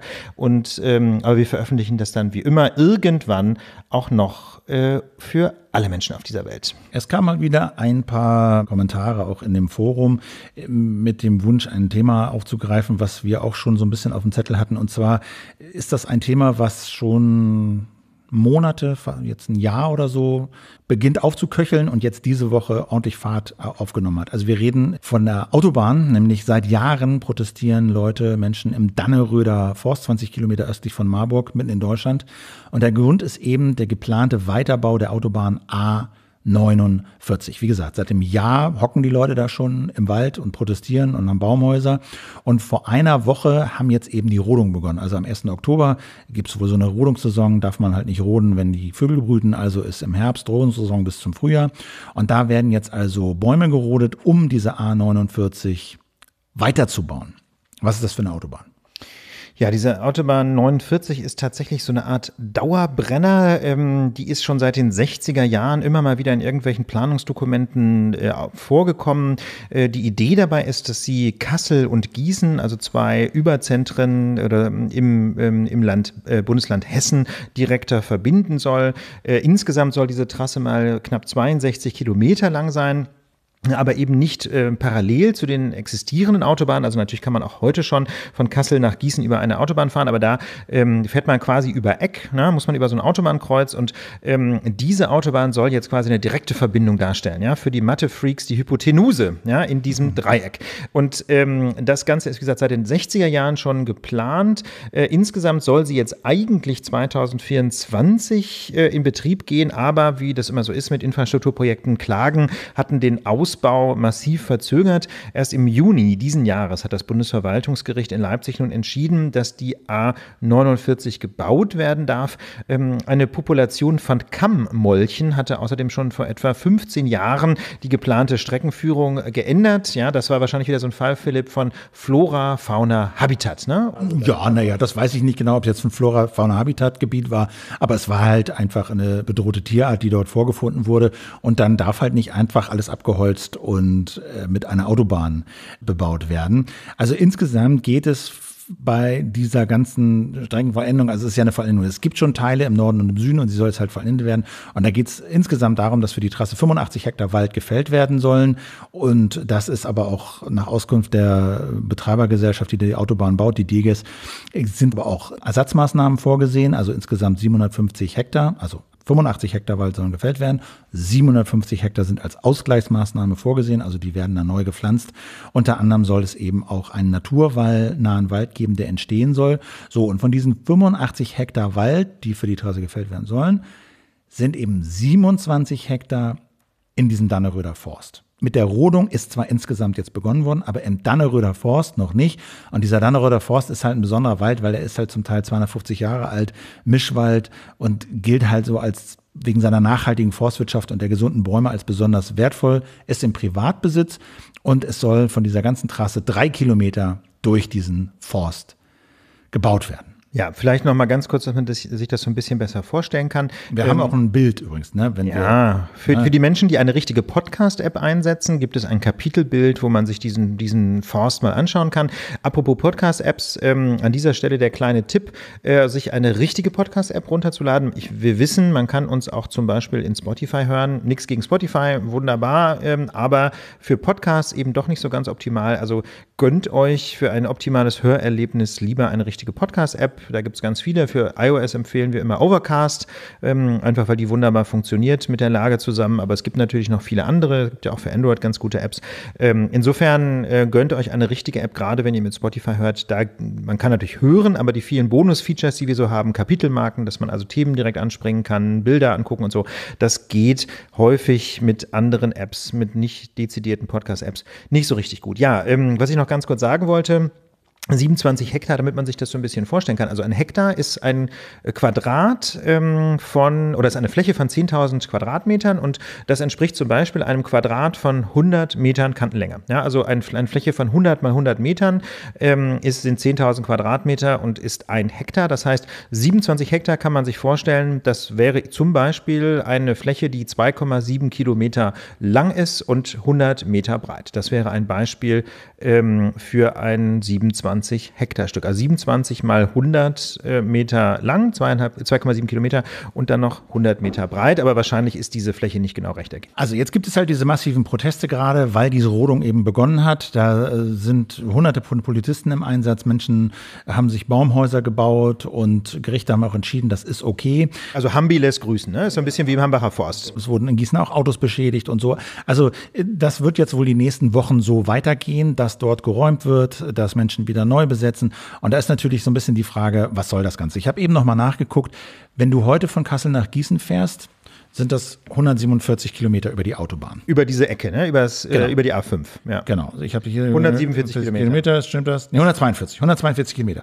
Wenn du direkt fährst, also das ungefähr das, was dann die Autobahn sein wird. Sollen es 62 werden, ne? ne äh, dann sind es 117. Also dass diese 62, Ach das ist das, so. was jetzt noch gebaut wird. Ja. Aber die direkte Verbindung sind 117 ungefähr. das heißt, du sparst um die 30 Kilometer. 30, 40 Kilometer. Für 30, 40 Kilometer. Wow.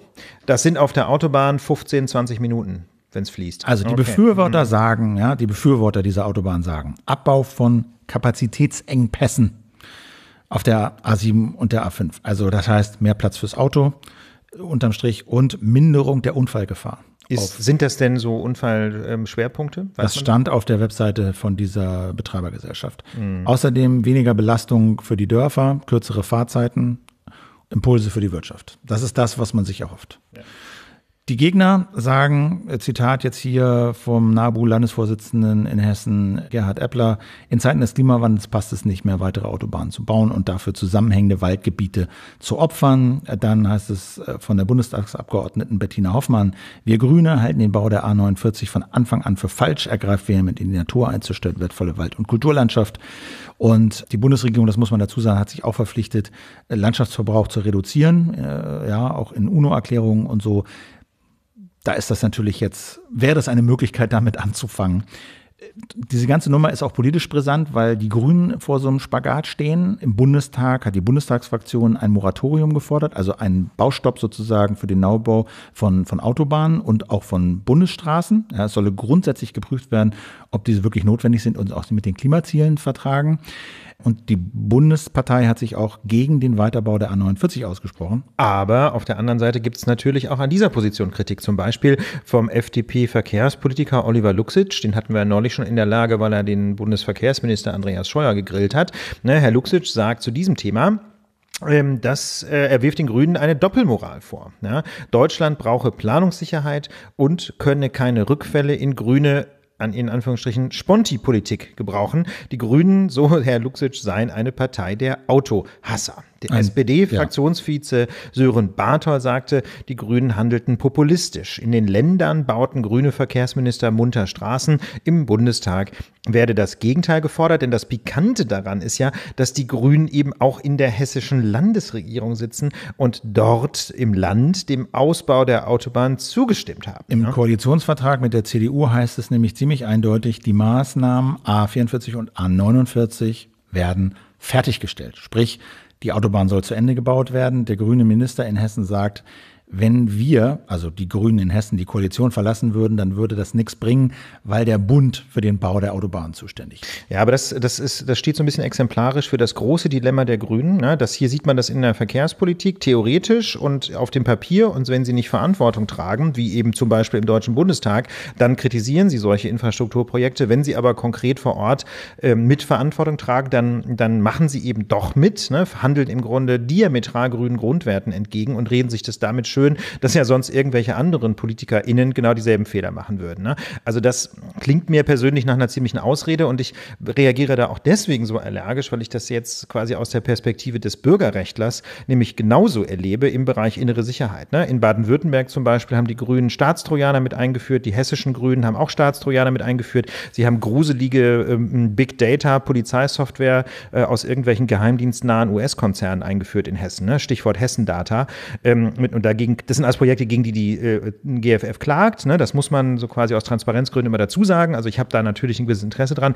Aber das ist, deswegen ist mein Blick auf die Grünen einfach massiv getrübt, ne? weil die natürlich im, immer schöne, schöne Programme schreiben. Aber wenn sie dann konkret Verantwortung tragen, muss man leider sagen, ne? dann relativiert sich doch so einiges. Also jetzt ist ja natürlich, wir haben uns auch so ein bisschen gefragt, was soll man jetzt diese Autobahn zu Ende bauen oder nicht? Und ich denke, wir stehen alle vor der Erderhitzung. Und wir alle wissen, dass wir was tun müssen. Wir haben eine Klimakrise. Das ist nicht mehr nur irgendwie ein bisschen gefährlich, sondern es, es knallt ja schon im Klima. Und wir müssen ziemlich radikal umsteuern. Und irgendwo müssen wir damit anfangen. Und da können wir nicht jedes Mal sagen, na komm, ist doch jetzt hier nur die Autobahn. Oder ist doch nur so ein Komm, hier noch Wald. schnell eine Ortsumgehung. So, ne? sondern ja. wir müssen fundamental umsteuern. Und für was? 30, 40 Kilometer, 20 Minuten, 30 Minuten Beschleunigung, dieses Ding fertig bauen. Vielleicht soll man auch einfach gar nicht mit dem Auto daherfahren. Vielleicht soll man einfach mit in den Zug steigen. Ich glaube, wir müssen weg von diesem Autoverkehr. Ich bin nicht dafür, diese Sachen verfallen zu lassen. Nein, die Autobahnen, die da sind, muss man pflegen. Das muss man erhalten und die Brücken muss man auch neu bauen. Genauso wie man Bahnstrecken natürlich erhalten muss. Also da würde ich sagen, okay, das muss einfach sein. Verfallen lassen sollte man das jetzt nicht. Aber neue Autobahnen zu bauen, ich finde das falsch. Ich finde, ich finde das falsch. Irgendwo müssen wir anfangen und das fängt halt bei so kleinen Sachen an. Ja, das ist so ein bisschen das prinzipielle Argument. Ja, das ist ne? das prinzipielle ich, Argument. Ich würde aber auch noch zwei praktische Argumente anführen. Das eine Argument ist, jede Straße zieht neuen Verkehr an. Also ich bin nun wahrlich kein Verkehrsexperte, aber eine der Grundregeln ähm, bei der Stadtplanung ist, wenn ich irgendwo eine Straße baue, dann ziehe ich damit neuen Verkehr an. Wenn es schön fließt, dann macht es halt Spaß, daher zu fahren und dann fahren eben immer mehr Leute daher. Wenn es hingegen Umsteigen lange dauert und unbequem ist, dann steigen die Leute auf alternative Verkehrsmittel um. Mit anderen Worten. Wenn die denn gut ausgebaut wenn die. Na klar, man muss die dann natürlich gut ausbauen. Das heißt also, ähm, eine neue Straße zu bauen, äh, läuft im Grunde den Zielen der Verkehrswende entgegen. Ne? Die Menschen in der Tendenz eher vom Auto wegzuholen. Das ist das eine praktische Argument. Und das zweite praktische Argument ist das Geld. Ne? Jede Autobahn, die man neu baut, ist ja auch richtig, richtig teuer. Also ich habe mal gelesen, ähm, dass im Schnitt, hängt so ein bisschen davon ab, wie die Trasse ist, wie viele Brücken man braucht und so, dass im Schnitt ein Meter Autobahn 6000 Euro kostet. Das heißt also, jeder Kilometer Autobahn 6 Millionen Euro. Und ähm, da kann man sich schon sehr die Frage stellen, ob die, das sind, die Zahlen sind auch nicht mehr ganz aktuell. Im Zweifel sind die, sind die Kosten heute wahrscheinlich ja 8 Millionen Euro pro Kilometer oder auch 10. Also hier ja. steht im, kurz mal schnell gegoogelt, Spiegel von 2016 als Faustregel unter Verkehrsexperten gilt, dass ein Kilometer Autobahn im Schnitt 10 Millionen. Ja, guck mal, Euro. da sind wir jetzt schon bei 10 Millionen. Ne? Das, wie gesagt, meine Zahlen waren nicht mehr ganz aktuell. Dann sind wir jetzt schon bei 10 Millionen Euro. Das heißt, äh, mit anderen Worten, da geht es um richtig viel Geld. Und wenn man sich überlegt, was man mit diesem Geld im Infrastrukturausbau für andere Verkehrsträger machen könnte, zum Beispiel für einen vernünftigen Regionalverkehr, dass man eben mit dem Zug möglichst schnell von Gießen nach Kassel fahren kann, da muss ich ganz ehrlich sagen, ist das, passt das nicht mehr in die Zeit, so eine Autobahn fertig zu bauen. Auf der anderen Seite, ich habe Verständnis für die Menschen vor Ort, ne? insbesondere in Dörfern, die die eben, ähm, die eben leben hinter so einem Autobahnstummel. Ne? Denn da gibt es ja eben jetzt schon so eine halbfertige Autobahn und am Ende dieser halbfertigen Autobahn muss der Verkehr ja irgendwo hin. Das heißt, da wird, ja, da wird jetzt Verkehr durch Straßen gelenkt, die für die Aufnahme eines Autobahnverkehrs natürlich nie ausgelegt waren. Das heißt also, ich glaube schon, dass es da Menschen gibt, wir haben jetzt konkret niemanden gefragt, ne? aber ich kann mir gut vorstellen, dass es da Menschen gibt, die enorm leiden unter diesem Autobahn-Umgehungsverkehr. Ähm, ne? ja, aber dann würde, ich, dann würde ich sagen, das Geld, was ihr dann spart, weil ihr diese Autobahn nicht zu Ende baut, ja, das könnt ihr entweder diesen Leuten geben oder da was ausbauen, damit das da ein bisschen verträglicher wird oder so. Ich habe das Gefühl, da sollte es Lösungen geben. Also ich tendiere dazu zu sagen, ist Quatsch mit Soße. Das führt uns aber zu dem nächsten Thema. Wir haben ja neulich auch so ein bisschen über Verkehrswende geredet hier intern, weil du ja in Kopenhagen warst. Ja, ganz genau. Wir wollten nur diese ganze Testerei erstmal abwarten, um da, um da die Geschichte quasi komplett erzählen zu können. Also, ich war in Kopenhagen tatsächlich und ich muss ganz ehrlich sagen, ich bin schwer beeindruckt ähm, von der Verkehrspolitik dieser, äh, dieser Kommune. Ist jeder, der dahin fährt. Ich war ja auch mal da und sagen wir mal so, Fahrradfahren und einfach mal so anhalten oder einfach mal so links abbiegen da erntest du mindestens böse Blicke, wenn nicht sogar ein bisschen mehr. Da ist Disziplin angesagt. Ja, da musst du mit deiner Hand links anzeigen, dass ja. du gleich anhalten wirst. Ja. Da ist ein anderer Beat. Das heißt also, auf Kopenhagener Radwegen äh, gilt keine Anarchie. Aber das Schöne daran ist, es gibt überhaupt Radwege und zwar nicht nur so hier und da, sondern Kopenhagener Straßen werden ganz offenbar von außen nach innen geplant und zwar so, dass die verschiedenen Verkehrsmittel alle ihren Raum haben. Also wenn man mal von außen nach innen schaut, gibt es da zunächst mal einen schönen, gut ausgebauten Gehweg. Radweg. Und dann folgt etwas abgesenkt typischerweise ein Radweg, der auch in aller Regel geteert ist, sodass man da wirklich gut radeln kann. Und erst dann, nochmal abgesenkt, folgt in der Mitte der Straße eine Fahrbahn für Autos und Busse und was sonst noch so rumfährt. Und ähm, damit hat einfach quasi jedes Verkehrsmittel seinen eigenen Platz. Ähm, es gibt dann auch eigene Ampelphasen, eigene Abbiegespuren für Fahrräder und so. Und das hat mich doch sehr beeindruckt, weil ähm, diese Aufteilung des Verkehrsraums einfach sehr deutlich macht, ja, man darf da zwar Auto fahren, aber das Auto ist nicht quasi das dominierende Verkehrsmittel, nach dem sich alles richtet, sondern das Auto ist ein Verkehrsmittel, das aber eben seinen, den Platz, den öffentlichen Straßenraum teilen muss mit radfahrenden Menschen und mit Menschen, die zu Fuß unterwegs sind. Ja, also das ist, finde ich, so der Punkt, den ich bei diesem Thema loswerden will. Wenn du in Kopenhagen bist und wenn du in Berlin bist und das vergleichst, dann kommt man um die Einsicht nicht mehr drum herum, der öffentliche Raum in Berlin und deutschen Städten ist ungerecht verteilt. Ja, Berlin ist einfach konstruiert nach dem Paradigma der 60er Jahre. Wir müssen die autogerechte Stadt bauen. Nicht nur Berlin, sondern das gilt ja für eigentlich für alle deutsche Städte. Also da mag es einige Ausnahmen geben, dass Münster, Münster ein bisschen, ist eine ein bisschen so, ne? aber im Grunde genommen kannst du sagen, die deutschen Städte, Kleinstädte, Großstädte sind einfach Auto als Autostädte gedacht und das ist einfach nicht mehr zeitgemäß. Es ist schlichtweg ungerecht. Und ich habe neulich in so einem Online-Event da zuhören können, wo es eben um die Verkehrswende ging. Und da fand ich ganz interessant, dass diese Erkenntnis tatsächlich auch bei den Städten und den Lobbyisten der Städte angekommen ist. Also es gibt ja den Deutschen Städtetag zum Beispiel. Das ist so ein Verband, der sich halt für die Interessen der Städte in Deutschland einsetzt, unter anderem beim Bund. Und beim Deutschen Städtetag arbeitet eben Hilmar Lojewski in führender Position. Und der hat bei diesem Event Folgendes gesagt. Wir werden auch zu einer Flächenneuzuordnung kommen müssen.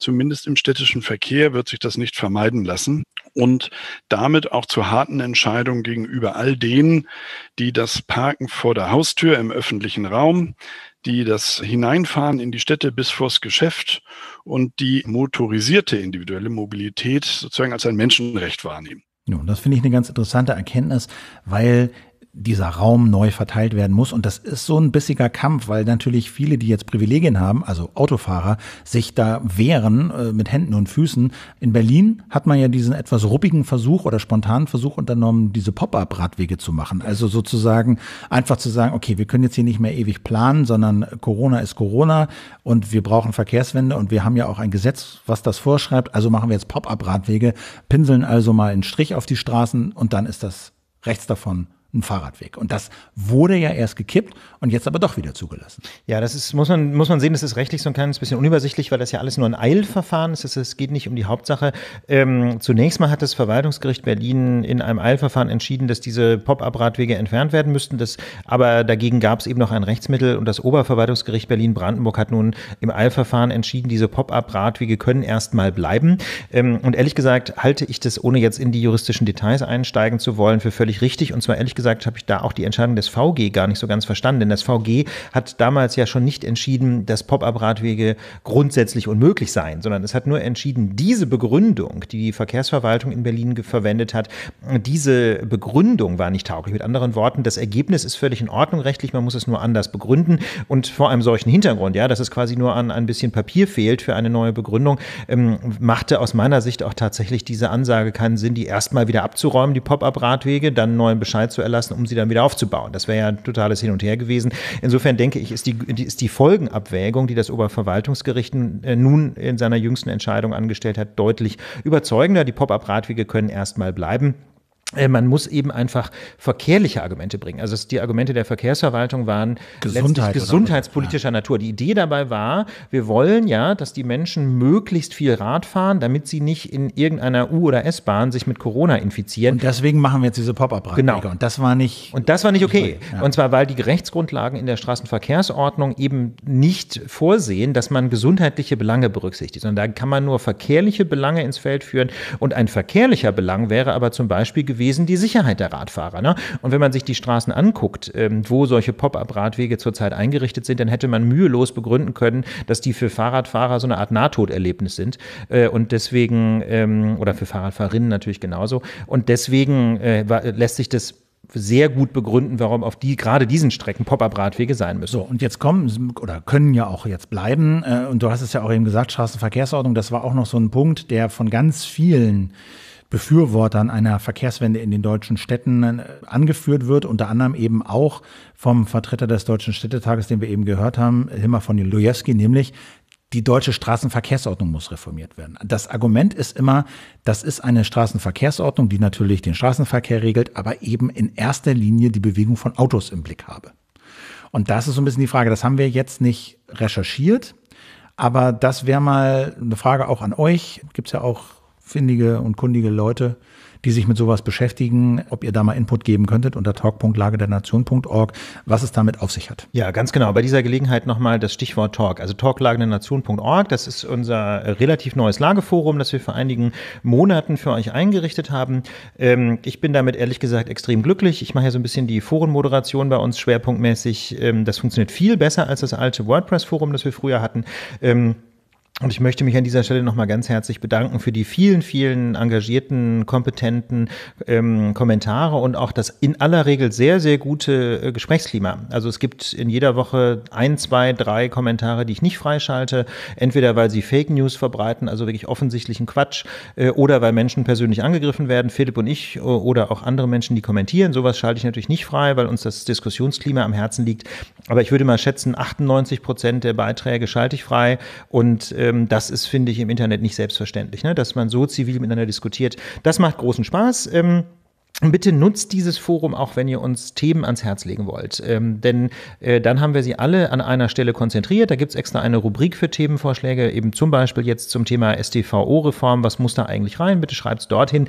Ähm, denn der große Vorteil ähm, eines Themenvorschlags, der schon äh, in unserem Forum unterbreitet wird, ist, dass das andere Menschen kommentieren können. Das heißt, wir bekommen dann schon so ein bisschen Feedback von der Community ähm, und haben dann großen Anreiz, diese Themen auch tatsächlich zu besprechen. Wir haben ja in den letzten klagen häufig und finde ich nach wie vor völlig zu Recht über rechtsextreme Erscheinungen in den deutschen Behörden, Sicherheitsbehörden, Polizei, Bundeswehr etc. gesprochen. Und wir hatten ja hier auch eine Einschätzung von Wissenschaftlern zu der Frage, muss eigentlich mal erforscht werden, soziologisch, habituell, substanziell, ob es ein strukturelles Problem in deutschen Sicherheitsbehörden mit Rechtsextremismus gibt. Und da haben natürlich jetzt alle diese Woche ganz gespannt drauf geschaut, weil der Bundesinnenminister Horst Seehofer einen Bericht zum Extremismus in deutschen Sicherheitsbehörden vorgestellt hat. Horst Seehofer hat sich ja immer dagegen gewehrt, das substanziell und fundamental erforschen zu lassen. Und nun wurde also dieser Bericht vorgestellt. Und dieser Bericht ist im Kern eine Statistik, wenig Analyse, sondern zählt im Kern eigentlich auf, was in den drei Jahren von Anfang 2017 bis März 2020 in allen deutschen Sicherheitsbehörden für Fälle gemeldet wurden. Also Fälle, in denen auch Verfahren eingeleitet wurden, sei es jetzt arbeitsrechtlich oder strafrechtlich. Meist dreht es sich dabei um rassistische, extremistische Äußerungen in der einen oder anderen Form.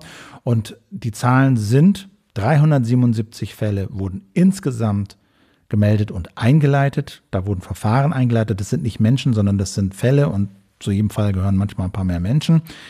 Bei der Bundeswehr waren es über 1000 Verdachtsfälle, also 377 in deutschen Sicherheitsbehörden, Polizei etc. Und bei der Bundeswehr waren es eben über 1000 Verdachtsfälle und es wurden aber nur eben in diesem Bericht diese Fälle berücksichtigt, die auch gemeldet wurden, die also aktenkundig geworden sind. Ja, und wir haben, äh, denke ich, bei den bei der Besprechung der verschiedenen Einzelfälle, die wir so in der Lage hatten, ähm, auch diskutiert, dass es in aller Regel reiner Zufall war, dass so ein Einzelfall mal zur Sprache kam. Ja, da gab es dann teilweise über viele Jahre hinweg irgendwelche rechtsextremen Chatnetzwerke ähm, und irgendwann mal hat sich dann jemand ein Herz gefasst und diese Dinge tatsächlich äh, irgendwie nach außen getragen, zum Beispiel an die Presse gegeben oder so. Mit anderen Worten, die Vermutung liegt nicht fern, dass diese Fälle, die bekannt geworden sind, die ausschließlich in diesen Bericht eingegangen sind, allenfalls die Spitze eines großen Eisbergs sind. sind. Ne? Und trotzdem sagt Horst Seehofer, 377 Fälle in drei Jahren bei Polizei, Geheimdiensten und über 1000 Fälle bei der Bundeswehr in drei Jahren. Das sei eine geringe Anzahl. Und das bedeutet, dass wir kein strukturelles Problem mit Rechtsextremismus in den Sicherheitsbehörden von Bund und Ländern haben wenig Fälle und er sagt kein strukturelles Problem. Also ich meine, das ist natürlich eine Frage der Perspektive. Ne? Also natürlich oder hoffentlich kann man jedenfalls sagen, haben solche Extremisten nicht die Mehrheit in den Sicherheitsbehörden. Aber auf der anderen Seite würde ich mal denken, jeder Fall ist ja einer zu viel, denn jeder Fall ist ja ein ist ja ein Fall, ähm, der unmittelbar jedenfalls äh, in Frage stellt, dass die Polizei insgesamt auf dem Boden des Grundgesetzes also steht. Also ich würde mal sagen, wir als Gesellschaft haben ein strukturelles Problem mit Rassismus und Extremismus. Und also hat zwangsläufig auch die Bundeswehr und die Polizei ein strukturelles Problem mit Rassismus, weil, und dafür gibt es Studien, ich habe das letzte Mal so angedeutet, natürlich haben diese Behörden eine erhöhte Anziehungskraft für Leute, denen Recht und Ordnung besonders wichtig ist.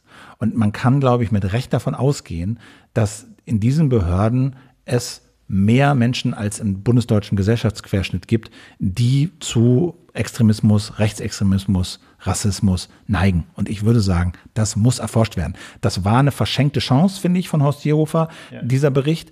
Es gibt allerdings, das muss man ehrlicherweise auch dazu sagen, glaube ich, in den Reihen der Länderinnenminister durchaus Bewegung. Die jetzt ja. auch anhand dieses Berichts gesehen haben, Leute, Thüringen, glaube ich, hat angekündigt, äh, mindestens in Thüringen das zu erforschen. Und ich glaube, der Innenminister aus Thüringen ist der Vorsitzende der Länderinnenministerkonferenz gerade und der, glaube ich, wird schon sehr darauf drängen, dass die Innenminister insgesamt für die ganze Bundesrepublik mal so eine Studie anstoßen. Und meine Hoffnung ist da noch nicht begraben, dass es auch dazu kommt. Ja, ich denke, ehrlich gesagt, ähm, ist es genauso, wie du angedeutet hast, Philipp, diese einfach völlig realitätsferne Einschätzung von Horst Seehofer hat im Gegenteil ganz vielen Menschen, ähm, nicht nur aus der Opposition, sondern auch zum Beispiel aus der Koalition, aus der Großen Koalition im Bund und aus den Ländern gezeigt, Horst Seehofer ist einfach äh, an, an diesem Punkt nicht mehr ganz von dieser Welt. Ähm, ja, wenn man so will, ist Horst Seehofer selber ein strukturelles Problem, dafür konsequent gegen Rassismus in den Sicherheitsbehörden vorzugehen. Wie gesagt, es geht uns überhaupt nicht darum, jeden einzelnen Menschen, der da hm, arbeitet, vorzuverurteilen. Darum geht es überhaupt nicht. Ganz im Gegenteil geht es bei einer solchen Untersuchung ja darum, rauszufinden, wer sind denn die problematischen Menschen. Und das dient ja nicht, zum Letz-, äh, nicht zuletzt auch dem Schutz derjenigen, die hoffentlich die Mehrheit stellen und die völlig sich äh, korrekt verhalten und auf dem Boden des Grundgesetzes stehen. Man muss aber zur Ehrenrettung auch sagen, dass Seehofer sich nach einigen Berichten zumindest offen gezeigt hat, die Arbeitsbedingungen von Polizisten und Polizistinnen analysieren zu lassen. Da ist dann ja immer, ne, also was versteht man unter einer Studie, was versteht man unter Erforschung von Extremismus in den Sicherheitsbehörden.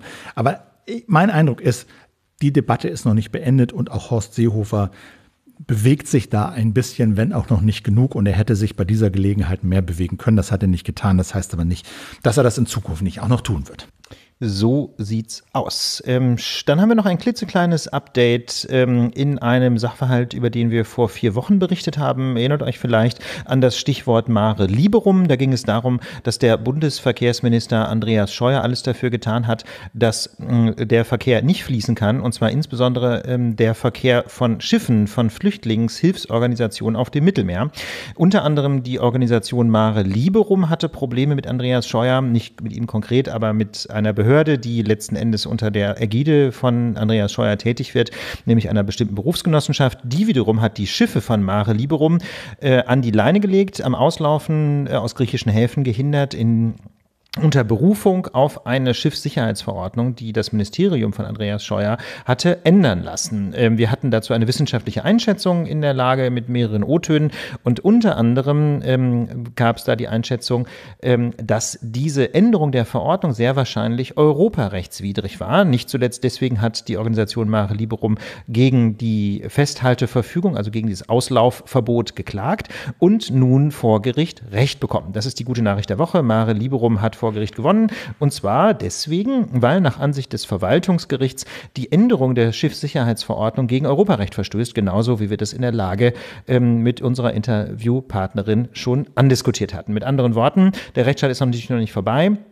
Aber es sieht jetzt erstmal ganz gut aus für Mare Liberum, dass die Schiffe wieder auf dem Mittelmeer tätig werden können, wobei es da eben nicht unmittelbar um Rettung geht, sondern vor allem um Monitoring. Also die Aufgabe von Mare Liberum oder die selbstgesteckte Aufgabe von Mare Liberum ist vor allem ähm, zu dokumentieren, was eigentlich auf dem Mittelmeer vor sich geht. Und dazu gehören natürlich auch menschenrechtlich problematische Verhaltensweisen, zum Beispiel der sogenannten Grenzschutzorganisation Frontex der EU.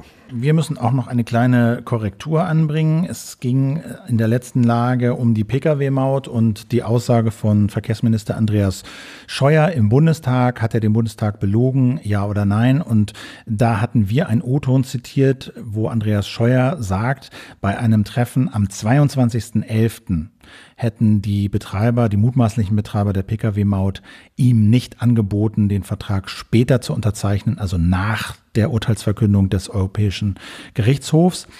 Und wir hatten das argumentiert, es sei ein überspezifisches Dementi und so weiter, weil es eigentlich um ein Treffen ginge am 27.11., also eine Woche später. Nun stellt sich so heraus, das Verkehrsministerium hat seinen Minister nach diesem Auftritt im Bundestag korrigiert.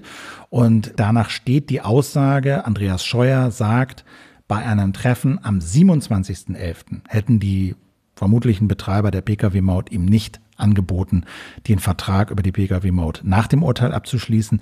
Das macht die Lage für Andreas Scheuer aber nicht besser. Denn die beiden Chefs dieser Unternehmen haben beim Untersuchungsausschuss ausgesagt, doch bei diesem Treffen am 27. November haben wir sehr ausführlich angeboten, den Vertrag über die Pkw-Maut erst nach der Urteilsverkündung zu unterschreiben. Und es steht jetzt also demnach die Aussage von Andreas Scheuer, nein, beim Treffen am 27.11. wurde mir das nicht angeboten. Gegen die beiden Manager und gegen einen dritten Manager, der unmittelbar nach dem Gespräch sich ja darüber Notizen gemacht hat. Ne? Wir das in der letzten Lage genau dargestellt. Ne, ob das jetzt Aussage gegen Aussage ist, das haben wir letztes Mal ausführlich debattiert und würden sagen, nein, es ist nicht Aussage gegen Aussage. Und die Lage ist jetzt also so, dass es nicht um zwei Treffen ging, sondern es geht um dieses eine Treffen am 27.11., wo Scheuer sagt, nein, mir wurde das nicht angeboten und die beiden Manager sagen, doch, wir haben es ihm angeboten. Und insofern hat das die Lage für Andreas Scheuer nicht verbessert, dass wir uns geirrt haben, sondern hier korrigieren müssen, sondern es geht, sieht zumindest sehr danach aus dass Andreas Scheuer nicht die Wahrheit sagt. Das ist auch nicht gerade erfreulich. Als Bundesminister kann man schon erwarten, dass man vor dem Parlament die Wahrheit sagt oder in einem Untersuchungsausschuss die Wahrheit sagt. Das klingt alles gar nicht gut. Ähm, spannend natürlich die Frage, weswegen die SPD insbesondere ähm, als Koalitionspartnerin Andreas Scheuer immer noch deckt, äh, trotz einer ganzen Serie von politischen Fehlleistungen inzwischen und trotz, trotz millionenschwerer Verluste. Wir haben es letzte Woche schon berichtet, etwa 500 Millionen sind da vermutlich versiebt worden. Ähm, tja, das ist in dem, im Lageforum auch intensiv diskutiert worden. Es gab unter anderem die Theorie, wir können die natürlich letztlich nicht einschätzen, dass die SPD ähm, das deswegen macht, weil, so, äh, weil es so eine Art Stillhalteabkommen gäbe zwischen Union und SPD. Denn die, ähm, auch bei der SPD gibt es ja äußerst problematische Minister, äh, nicht zuletzt Olaf Scholz, äh, der auch das eine oder andere versiebt hat, Philipp. Ne? Nicht zuletzt, was waren was es bei Olaf Scholz? Der Wirecard-Skandal. Ne? Na, und er hatte mit Warburg in Hamburg äh, Treffen, als da schon Verfahren liefen und er hat sehr demonstrativ versäumt, Steuern zurückzufordern. Das ist dieser Cum-Ex-Skandal. Dieser ne? Cum-Ex-Skandal. Haben wir in der Lage auch verschiedene. Haben wir, genau. Aber es, es, gibt eine Menge Probleme, weil jetzt auch diese Woche der Untersuchungsausschuss zu Wirecard seine Arbeit aufgenommen hat. Und ähm, also da würde mich auch interessieren, das ist erstmal nur eine These. Die SPD hält bei Scheuer still, weil sie sonst um Olaf Scholz fürchtet. Aber wenn unter euch Menschen sind, die da nähere Informationen haben, interne Informationen vielleicht, dann sind wir dafür offen. Wir haben auch äh, PGP-Streamer zu erreichen. Was man, was man also haben kann heutzutage. Ja, in diesem Sinne, äh, ach genau, ein Literaturtipp in Anführungsstrichen habe ich noch ähm, zum Thema Gedächtnisprotokolle. Der Freitag, äh, eine politische Wochenzeitung aus Berlin, hatte mich gefragt, ob ich einen kurzen Kommentar schreiben kann zum Beweiswert von Gedächtnisprotokollen. Habe ich gerne gemacht. Ich lese den Freitag nämlich sehr gerne ähm, und das könnt ihr nachlesen auf der Homepage. Hat der Freitag heute auch getwittert oder wir packen den Link auf diesen kurzen Kommentar zum Beweiswert in die Show Notes. Da hatten wir ja letztes Mal drüber geredet, ne? Ja. Gedächtnisprotokolle. Und ähm, ich, da gab es in Übermedien noch ein interessantes Interview. Und das fand ich interessant, dass es ähm, offensichtlich unter bestimmten Umständen okay ist, ein Video zu machen für Journalisten, ja, und das auch zu veröffentlichen von privaten Gesprächen, wenn das öffentliche Interesse dementsprechend hoch ist. Unter allen Umständen ist es aber verboten, eine Audioaufnahme ja. anzufertigen. Genau, darum geht es auch in diesem Kommentar. Ja. Könnt ihr also nachlesen, sowohl bei Übermedien ich, verlinken wir, als auch in meinem eigenen. Das fand ich interessant. Also da den, den Übermedien, äh, das Interview, das haben wir verlinkt und den Kommentar von Ulf könnt ihr euch auch nochmal ansehen. So, jetzt ist aber gut für heute. Wir danken euch für eure Geduld. Wir danken euch für eure Unterstützung, für das Feedback und ein paar Bewertungen auf iTunes. Es ist ein Privileg, dieses Ding hier mit euch machen zu dürfen und wir hören uns deshalb wieder, wenn ihr denn mögt mögt, nächste Woche. Danke, danke, danke. Ähm, Nochmal zur Erinnerung, das volle Interview mit Norbert Röttgen kommt für alle Menschen, die uns mit dem Plus-Abo unterstützen, an diesem Wochenende. Und ähm, alle anderen können das irgendwann, denke ich, kommende Woche oder nächstes Wochenende auch anhören. In diesem Sinne, ein schönes Wochenende, kommt gut in die neue Woche, bleibt gesund. Wenn ihr krank seid, werdet gesund. Bis dann. Ne? Tschüss.